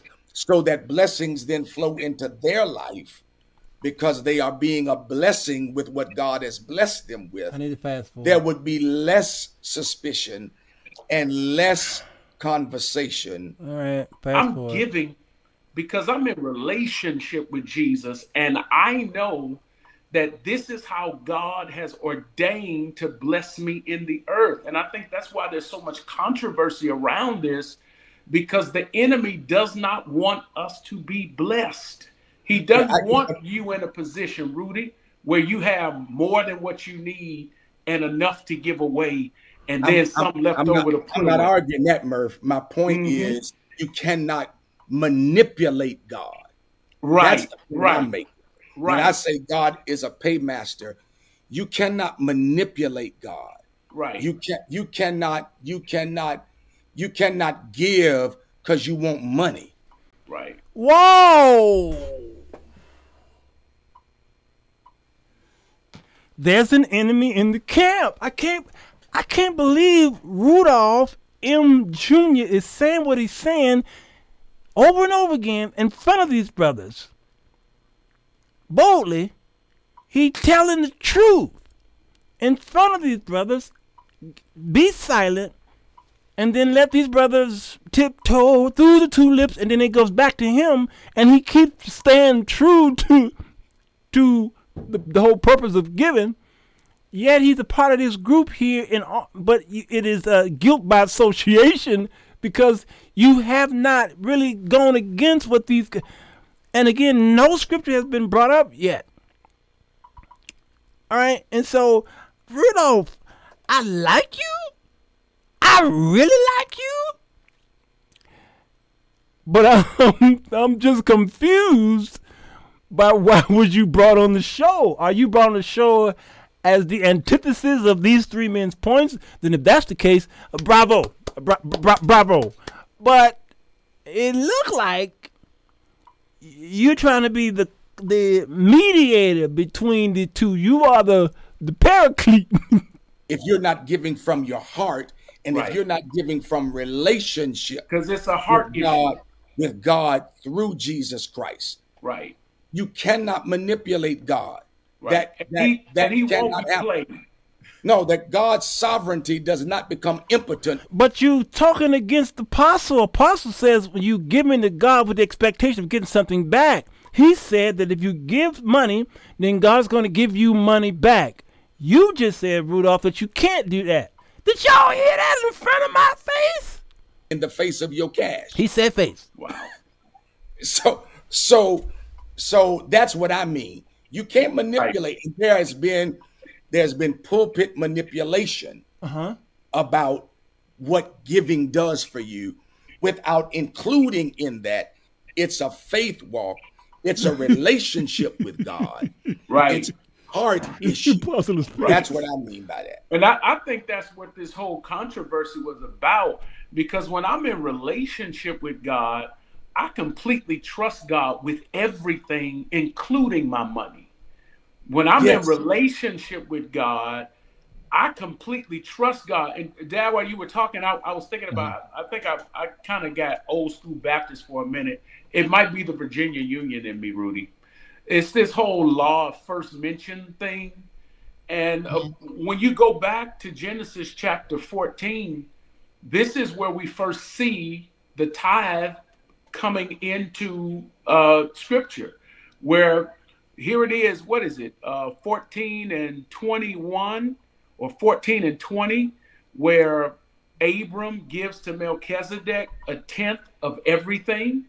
And that's where we see the tithe being introduced in scripture. And Rudy, you said it earlier. At this point, there was no law. So it was a heart issue. It was an honor issue. It was it was an issue of of gratitude that because of what God has done, I've got to give something back. And I think we got to go back to mm-hmm. this. When people say, "Oh, it was Old Testament," or "It's not New Testament," well, Jesus would have never mentioned it. We're not even having that argument. Let's just go back to where it was introduced. That the tithe came out of a heart of gratitude for what God had done, and I think if we can keep it right there, Dad, I think we can keep well, it clear. I think you keep it clear, but you cannot deny that God. Every time God asks me for something he promises a return. Uh oh. I don't think y'all saw what just happened. Apostle I.V. Hilliard has been pressed. He's been pressed. He he was just pressed, and now he's pressing back. The guy below him, he's speaking directly to the man up under him. Every time. Every time. I, I cannot, I cannot disavow that. I, I cannot say that when I give, I should not be expecting. Right. Because he promised me. So I am giving with the expectation. I'm giving because this is the system that God set up for his kingdom to be uh, taken care of. It's God's way to prosper me. Care of. Yes. Because every time he asks me to give, he, t- yes. he says it's a law. Give and it shall be given unto you. That's the law of sowing. If I sow, I am going to reap. Mm-hmm. Well, I am not going to minimize that part of it. Oh man, I got to fast. Because forward. of that, Lord, I thank you for the for the blessing. I got to fast. And as as Apostle said, there if there's 30 pastors in a city, 25 of them really do have the right intentions. The problem is when the five mess up, they make the news. So yeah. now everybody just thinks all pastors want your money. When there are many pastors that work jobs, they work two, three jobs, and they still go to church and they serve the people. Yeah. There's bivocational pastors, so that's not a legitimate argument.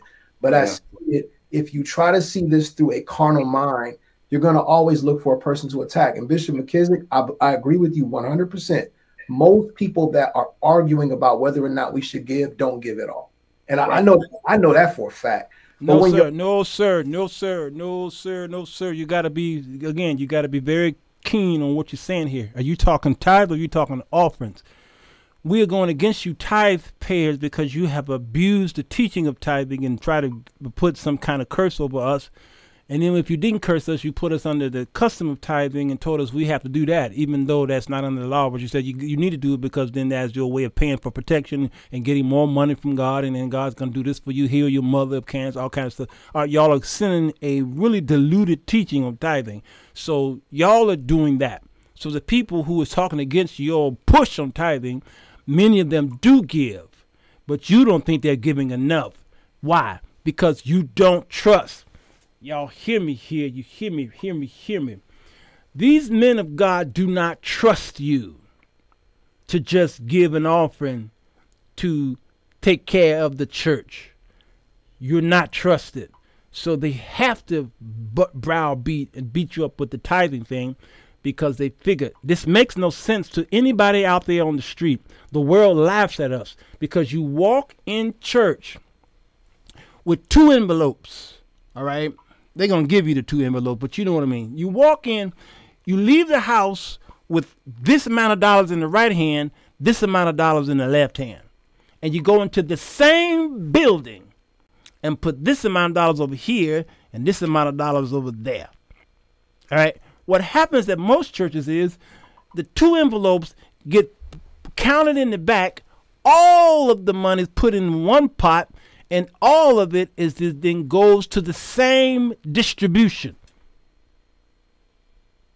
Same distribution. Many churches do not take the tithe and allot it to the way it was supposed to been allotted. No. They take the tithe and the offerings that y'all gave and put it all on the light bill, all on the gas bill, all on the mortgage. It doesn't go here, then go here. No. You come in there to go here, go here with your money. Once they get into the pot, it goes to the same thing. It's kind of stupid to me. So when you listen for so when the world look at y'all, they said, "What the heck?" Almost said it. Are these people doing? This makes no sense to me. That's why God says you're robbing me in tithe, food, offering, money. Their money, their offering, takes care of the upkeep of the temple. Who upkept it? Huh? H- how do you know? I mean, wh- where did the upkeep come from? It had to be financed. The temple had to be financed. In walked the temple tax. Okay? The, the, the tithe was the food that fed the workers, the, the, the, the Levites and the priests. That was the way it was in the temple. So you all coming in there with money and money. it's, it's the most silliest thing. money and money. Two different envelopes. And you do that because you you want the accounting department to make sure they they they allotted that that's a tithe and that's an offering. And then when they get through allotting what how much was the tithe, how much was an offering, it all goes into the same bucket to pay the same bill. It makes no accounting sense. it makes no accounting sense at all. And you've been manipulated to do that because they don't trust you to give enough to take care of the church. Oh my God, today. The heart is generous. You don't have an argument about finances. It's a small, Jesus called it a small thing. He said, if you can't handle the wealth of this world, who can trust you with the true riches of heaven? This is a small thing. Mammon is a demonic principality that has wrapped up the minds of people to worship money. Mm-hmm. And it not be worshiped. It is a tool that we use in the kingdom for advancement. And the blessing of the Lord is on those who walk in obedience. So I don't struggle with the tithe or with the offering. It doesn't bother me at all. But I just hope that we can grow to a place where we, the body, can converse without trying to create conversion. We just need to do conversation and bring people into enlightenment. Wow. Well, and I, I think that's that's that's very. If I'm making an investment with my tithes, why are my investments yielding a return? Your investment with your tithe will never reap a return if your your tithe is going to a church to pay its bills. No, it will never reap a return. That is nothing in the scripture that says it's going to ever reap a return. Your tithe, if it went to uh, paying the salary to someone who has preached the gospel, who's a teacher of the word, 1 Timothy 5 and 18, or if your tithe is going to the poor, God says, if you give to them, then you are lending to me, and then that is a great investment. Other than that, you just giving your money away because you want to help some church keep their lights on. That's all you're doing, and God never uh, promised you that He bless you for doing that. Why? Because He never told them to build that church. very, very well said. Strong. Strong. Uh, that you know, um, tomorrow, those who because uh, you know tomorrow is a big giving day. It's and ain't the only giving day. You can give all during the week if you desire. Mm-hmm. Okay, they wrapping it up, tomorrow. Y'all. I believe, I'm and I'm in down. faith for record giving in the body of Christ. Record giving, because I think this has brought that principle to the forefront in the minds of a. No, sir. You're gonna see a depleting of giving tomorrow. a lot of people. Mm-hmm. And I'm believing that every pastor will stand in faith, believing that this is God's plan to bless the people. Yes, I had uh, I've had uh, several pastors ask me about receiving offerings. All right, I think it's disingenuous to think that we bring uh, crops to church because our ec- economy is based on cash. They live in agricultural system. Uh, is that you, uh, Dr. Sidney? They had a lot of cash back then. Was that you, Sydney? How many times have I done this show where I told y'all all of the cash that they had? Matter of fact, in another minute or so, I'm going to tell you, I'm going to show you the cash again. You said, yes, that's you. How much cash was in the Bible? Can somebody in the comment section give me a name of some type of monetary um, uh, means, both Old and New Testament? Hmm? Okay, you said you didn't. They did not have cash. Okay, but you said they live in agricultural. We too live in agricultural. Where you think your your food come from, huh? Where your food come from? When you down, when you driving down the highway, you see all those trucks. There's a lot of food in them trucks. When I lived in South Dakota, all I saw was was buffalo and antelope and deer and fields and fields of corn. Come on, man. Don't say we we live in an agricultural system. You're looking at America. What about around the world? The Middle East still live very agriculturally.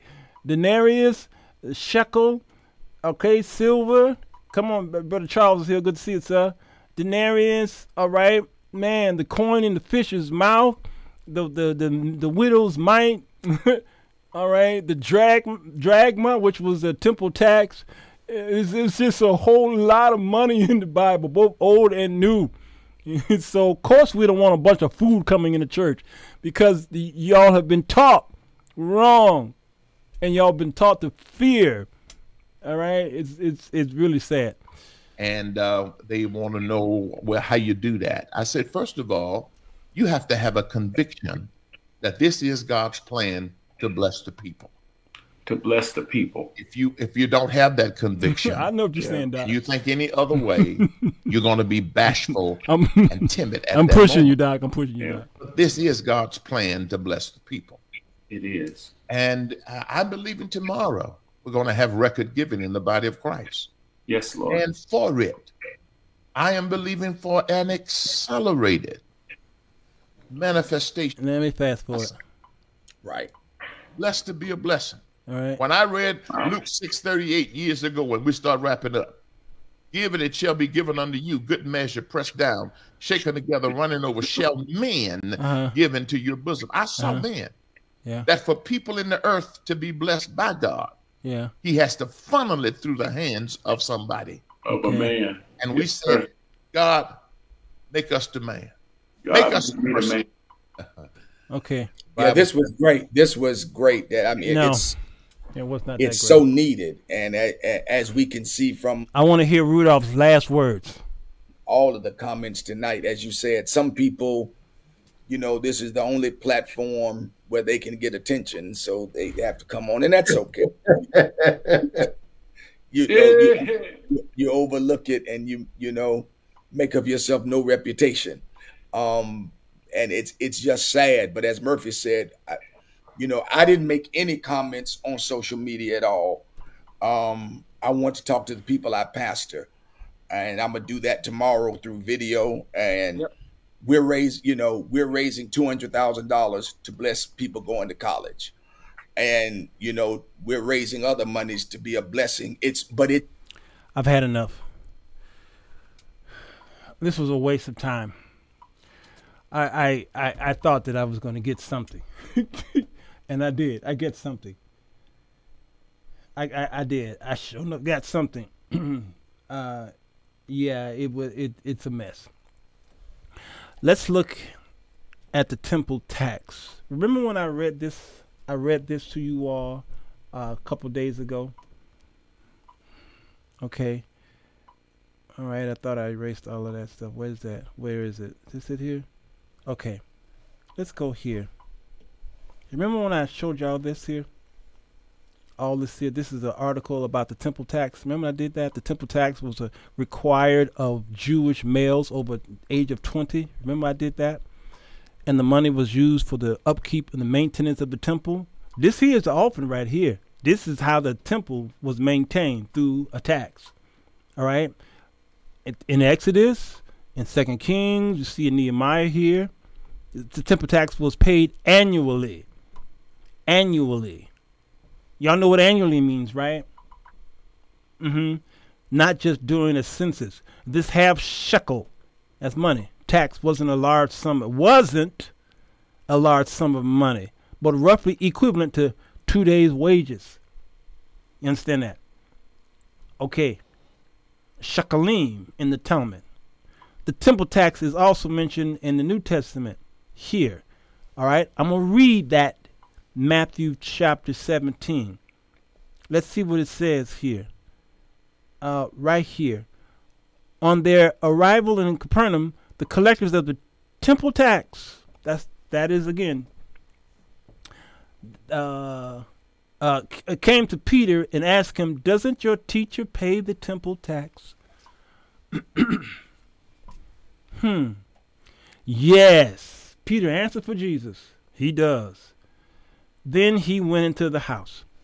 But before he had a chance to speak, Jesus asked him, What do you think, Peter?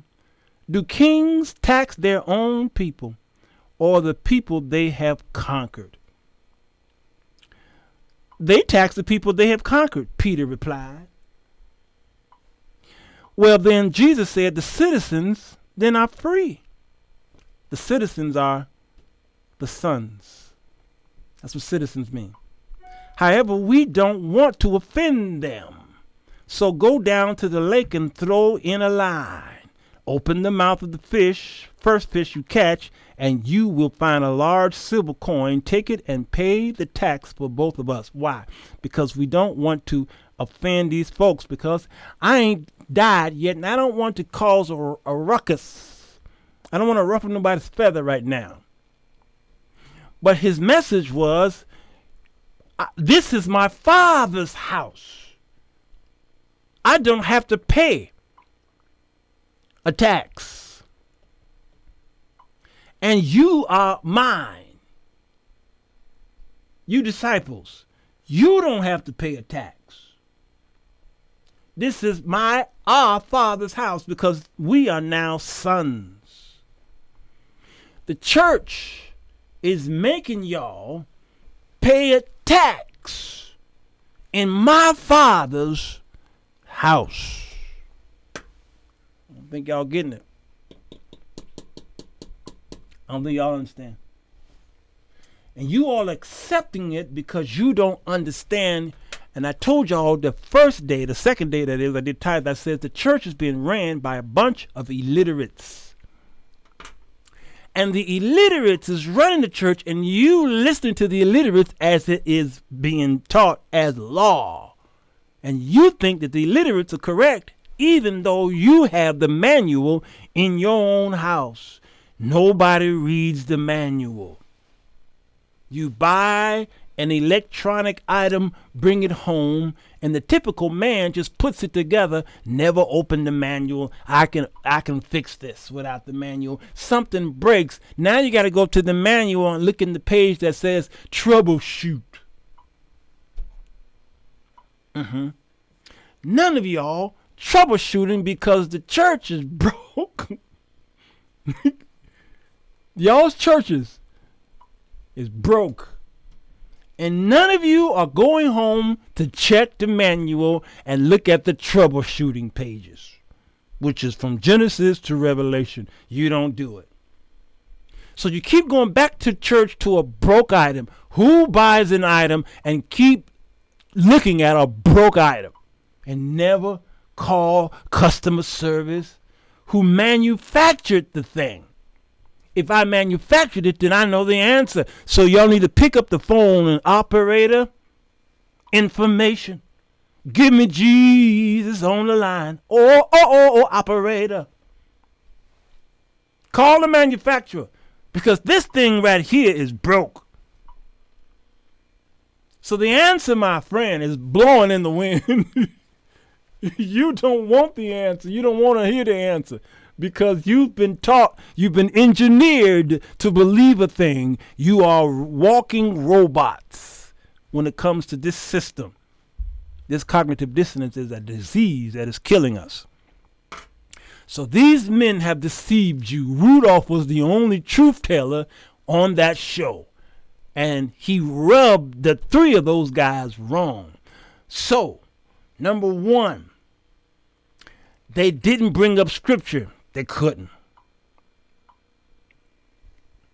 It was difficult to bring up scripture. They kept waddling around Abraham paying a tithe to Melchizedek. But they couldn't bring up nothing else but that. They couldn't bring up Malachi because of how the opening was. He says, We don't do the curse with the curse. So Malachi was out of, out of the picture. He brought up Hebrews chapter 7 and he eisegetically tried to explain that. So there was no Bible credible scripture brought up. None. None. So the rest of that teaching, it was an hour long, and it was an it was an at least 55 minutes of talking about giving. That was it. And they meshed tithe with the offering, gener- generosity given. They meshed it all in there and they stopped saying tithe for the rest of the teaching. Notice that. And it was William Murphy was the one who made the most bold statement tonight. The missing link, goodbye, was Murphy tonight because he said he never met a broke tithe payer. That was the lie of the year. That was the lie of the year. He is a pastor with members. And I can guarantee you, if he asked to see the books of his tithe paying members, he would have to recant his statement. He won't do it though. He just won't say anything or he will spin it. But if he looked at the books of his tithe payers, I'm not saying all of them, but many of them, I guarantee you, he'd say, Oh man, you struggling. That's right. And he got corrected by his own spiritual leader, father, that is. And his response was, Wow. Charles said, he know he lied. His response was, wow. wow. That's all he could say. And then I had to say, whoa. I've said I've I've never thought I'd see so much mess. All right. So let me say something to y'all as I close this down. Don't go nowhere, everybody. Let me see this. Don't miss this part right here. I want to applaud you. I applaud you. I applaud you. Who am I applauding? The many of dozens and dozens of messages I received from my tithing teachings to correct people. Many of you says I went and studied it for myself and OMG. I slept good all week because of the many of testimonies that came in and says, thank you, thank you. I knew something was wrong, but I, I needed somebody to help me. I want to applaud you. Thank you for being free, for wanting to be free. I applaud you. Now, stay free, though. Stay free. Because, trust me, today at church, I heard the curse for the curse too. I heard it loud and clear. And I ignored it like I, I ignore any. I just ignored it. And I just I just listened to what I wanted to listen to and I tuned it out, tuned it out. Cause I knew Sunday it was gonna be all over America, that whole curse for the curse. I knew it. Many of you got free. Now whom the Son has set free is free indeed. Stay free, please alcoholics should never be hanging around the bar. Alcohol, I'm talking former alcoholics, should never be invited to parties where they're serving alcohol. You understand? Don't go to those places. Stay free. Cause some of you can't can't smell alcohol without going back to it. You understand what I'm saying? So some of you who got free this week, you went to church today and uh, there was a pull on you because you heard Malachi and he was like, uh, okay, okay, Pastor. You went back. And what's what do they call it when a when somebody is broken free and then they went back to it? Not recidivism, that's that's usually used with prison. What do you call it when somebody go return back to the bottle? Is it what is, what is it called? That's what some of y'all did today. I saw it in the spirit. Y'all got the word, you you said you were free. You went to church today, and you went back. Not backslide. What is it? Relapse. Thank you, Charles. Y'all relapsed back into that. Free yourself. I was listening to Brother Charles, Brother James, and another brother today. It was good teaching. It was good teaching. Um, You'd have to go. I don't know, Charles. Is that on your wall? I don't know if it's on your wall. I think it's. I know it's on James' wall. They did a in-depth study on tithing right before I went live today. All right, this is let me go. Let me put his name back up here. Charles does a great teaching. Charles Albert Johnson III does a do a great teaching. All right, look at that name right there and go to Facebook and it's on his wall. And James, I don't I don't see James here. James Mack is not not here. Antonio, is it on your wall as well? Blessings to you, Robert. I don't know if it's Antonio O'Neill. I don't know if it's on your wall or not. Okay, if, if all right, but but James, where are you, James? All right, yeah. Okay, God, I thank you for your presence. I thank you for your blessings. I thank you for these people who came here to hear this teaching. They understand now, many of them. Others are still going to go against it and go back into that little wall that they hide up under because they think they need you to do something for them as they give money. They they trying to find ways to continue to give you money so that they can get all of the things that they need. They got half of the gospel. God help them because they only know half of the gospel. Paul asked the question to these men Have you received the Holy Ghost since you believe? And they said, We have not even heard of such a thing. Why? Because they were John's disciples. Paul needed to know, get, get them to understand that Jesus is the answer. And once they believe, then the Holy Spirit enters in the Jews required signs, and so these Jews needed to see something because they were Jews. And the sign of, the, of them speaking in an unknown language caused them to see the sign that the Holy Spirit had come as a gift from Jesus Christ who blew on the disciples. You understand? Now they are not just John's disciples. Now they are now true disciples of Jesus Christ. These men of Galatia, I believe it was. This is what's happening here. All right, that I need you all to see.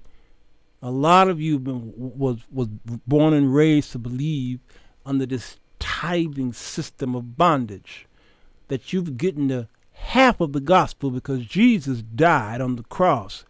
The centurion soldier pierced him in the side after he took his last breath.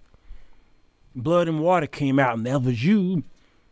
And that soldier said, Surely this was the Son of God. A quaking earth happened. You saw dead bodies coming out of the ground. All kind of signs that they needed. Look over to the temple. There was a veil there.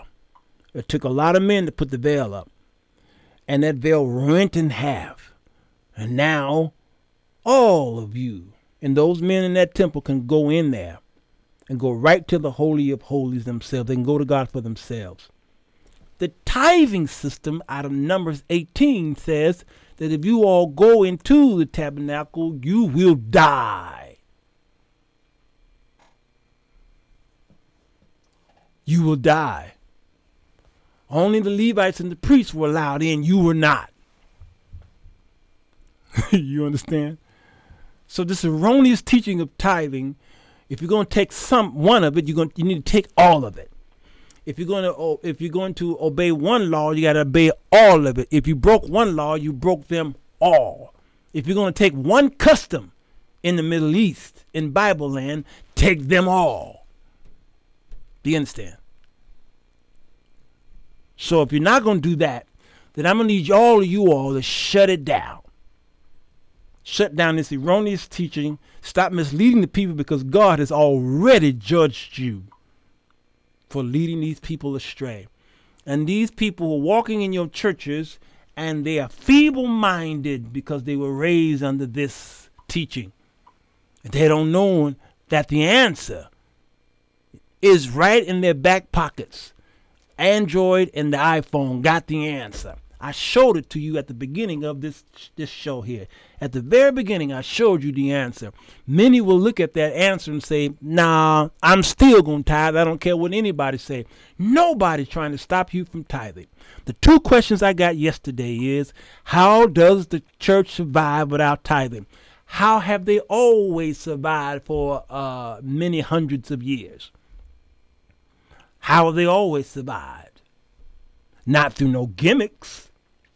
And many churches don't need to do collect an offering. Many churches don't need to do no tithing. They are debt free. You think you need it. It is a part of the bondage. You think you need it.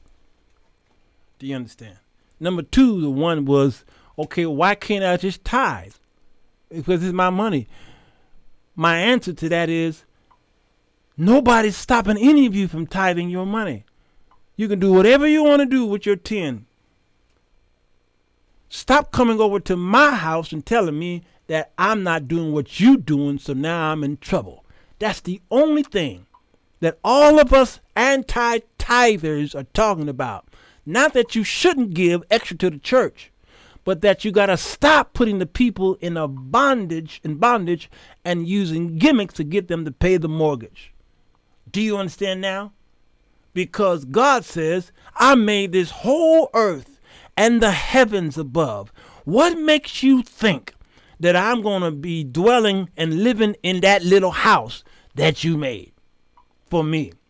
I will I don't dwell in houses made by man's hands. You turned around and built a 10 million dollar edifice and then put bondage on the single mothers out there to give and make them give a thousand anniversaries come around several times a year and you told these single women to give a thousand fifteen hundred dollars. I've seen two thousand dollar uh promise uh what y'all call those things pledges that you made these single mothers do and they work they had to get extra jobs. Some of them went to the payday loans so they can pay a pastor's anniversary fee. I cry every time i see that mess. In a house knowing that you got a big mortgage to pay. You can't hardly afford the mortgage, but the pastor has an anniversary. Y'all raised him thousands of dollars, and y'all are struggling to pay the mortgage, even though the pastor is on salary. Because he's too lazy to get him a job and make extra money so he can support his family. So he lived exclusively by the church, and he's barely making it. This is why I get in trouble. Nelson, blessing to you. Thank you so much. I see you. This is why I get in trouble for telling the truth. And I'm freeing people. And I told y'all I bite the hand that feed me. I'm a musician of the church, been a musician for uh, most of my adult life, and the church have been paying me most of my adult life. But I don't I don't I don't need to survive off of the church. I'm an entrepreneur. I have different I have different streams of income that comes in. I will never ever work exclusively for the church. Ever. Never. In the history of not never, you will never ever see me working exclusively for the church to so that they can pay my bills. No way. I'm talking about a church house playing an organ, a piano, or something like that. No. I work for the bunkers. The bunkers help sustain me because I teach and preach the gospel. And they don't muzzle the ox that tread out the corn. So the bunkers sustain me. Plus my books, uh, my travels, my YouTube channel, and all that. That's of course that's obviously through the bunkers. You understand? That sustains me. And if one fall off, the other one picks up. If that fall off, the other one pick up. So the pastor is, is, trying to survive under one salary of the church, and if that church should close, he's gonna lose everything. You're not a good steward of your money. So wait a minute, the tithing come in and what happened to the no room to receive and open up the doors and blah blah blah blah blah? You're supposed to be, in a sense, well off. I didn't say you got to be rich, but you should be at least well off. But one Sunday, where a snow hit Chicago, and it's it's like uh, two feet of snow, the churches in Chicago still do not close the doors. Can y'all put in the comment section? Because I know it's late over there on the East Coast. It's it's after midnight. Can y'all put in the comment section? Why is it that many churches in Chicago don't close the doors when it's dangerous to drive to church on us in a snowstorm? Hmm? Can y'all tell me? Hmm? I like to know. When I graduated, I don't want to be tied to man. Yes. Amen. Who's that? Daniel. Blessings. hmm Huh? Can y'all tell me in the comment section so we can go? Hmm? Why? Jerome, they want that money. It's not so much that they want that money, but tell me why. What? They need that money, Edward. They need it. If your church was established and you said this is God's house and God told me to build this house for him, and one Sunday you can't afford to shut the doors one Sunday because of a snowstorm, you need to question why that church is open. When you cannot when you've got tithe payers in that church and you cannot afford one Sunday a snow day, something's wrong. Something is drastically wrong. Because you can't trust the people to give online. You gotta have a special offering and tithe during your service on Sunday, or the people won't give. They won't feel the need to give. They they they they're not reminded to give. Now, ain't that about nothing? That you gotta have church on Sunday to remind the people to give, or else if they don't come to church, they won't give. That's a jacked up corporation. That's a jacked up institution. Jacked up. You need to, you need to question God then. I thought you told us we I thought and the pandemic came and thousands of churches had to close and they could not reopen. They couldn't. That pandemic shut down churches for for weeks. And the people wasn't giving. Why? Because they wasn't reminded to give. They did not use technology for years. Many of the older pastors said, We don't need Zoom. We don't need Facebook. We don't need YouTube. We're, we're fine. We're fine. Pandemic came. The governor said, Shut it all down. They shut it all down. And then the pastors lost contact with their members. They suffered financially. And I'm, I drive up and down Roseland and here in Chicago, and I see churches that never recovered. Doors still closed. And these are storefront churches. Tithe payers are in there. What does that say? Y'all want to be fooled. Y'all want to be in bondage. Y'all want to be in bondage. I, I just I just never met never met anybody. I just never I just I just never I just never understood an institution that operates this way. The church is the only institution that I know that operates this way. I don't know other no other worldly institution that operates the way the church do. A 1.2 trillion dollar industry every year operate like poor people. All the money, a lot of the money go to banks. We are so in trouble. So, God, as I was talking to you, I thank you for the knowledge that you've given myself and all these people in the comment section. It's too many to read. I'll read them tomorrow. But tonight I'm going to bed after a late night snack. I love you, God. I thank you for your strength that you've given me. Now I'm done. I've, I've overdone it this week. We're done with tithing. We're done. We're starting afresh tomorrow. For the for the rest of the year, we'll get back to preaching uh, the gospel in other different areas. We did not waste the people's time. We'll go back, oh God, and get back into scriptures and get back to getting the school back up and going to Sunday School University and getting the bunkers the material that they need. So, God, I thank you for your strength and your knowledge, your wisdom and your grace. We love you. We give your name the praise in Jesus' name. Thank God. Amen. Amen. Amen. Amen. Amen. There was about 550 of you who came today. Thank you. If 400 of you uh, or so left on YouTube, there's a thumbs up button there. If you hit that thumbs up button, can you imagine 400 people hitting the thumbs up button? Can you imagine what this gospel spread all over the world would do to other people who are in bondage? It would be amazing. All right? And can you imagine if another 400 of y'all hit the subscribe button? It's amazing because the average person who watches YouTube content, they're not subscribed to the channel. All right, so some of you just don't even know that you're not even subscribed. So if you hit the the subscribe button, you subscribe. All right, and then hit the bell notifications, and then you'll know that we're live. But I'm not the only one. Many content creators, uh, the average person who watch it, are not subscribers. You just y'all didn't know that, but that that is absolutely true. okay, people just watch it, and then YouTube puts it in the watch thingy, okay, because you watch one, it's gonna it's gonna push it, keep pushing it, even though you're not subscribed. All right, I love y'all. Take care of yourselves and one another.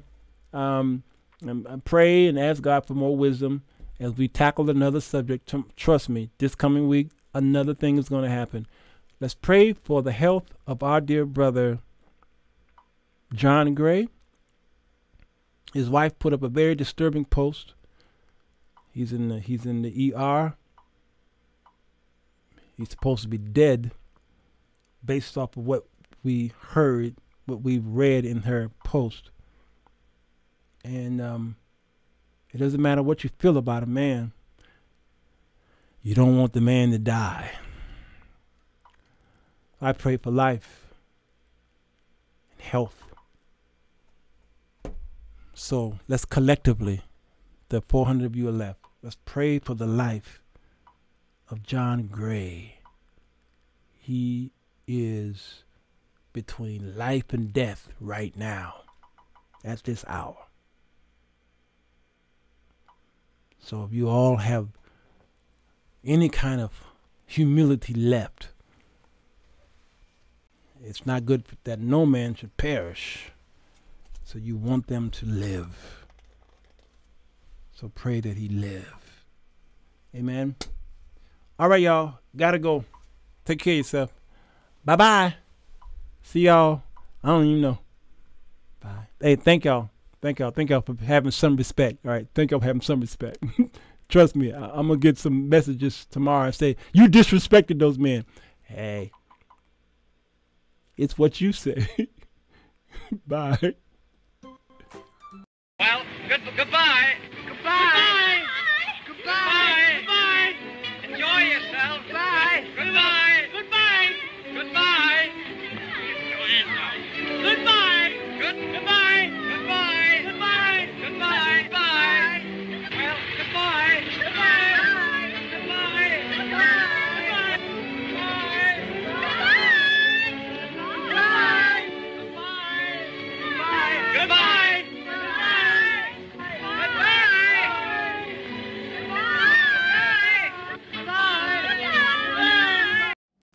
Fellas, does it seem like you can't get a good woman? Ladies, wonder why you can't keep a man? Then read The Four Women That Men Desire, Volume 1, by Sir Walter Jones to figure out how to break the cycle. Go to Amazon.com to get your copy today. It's 10 p.m. Do you know where your children are? Sir Walter Jones Show.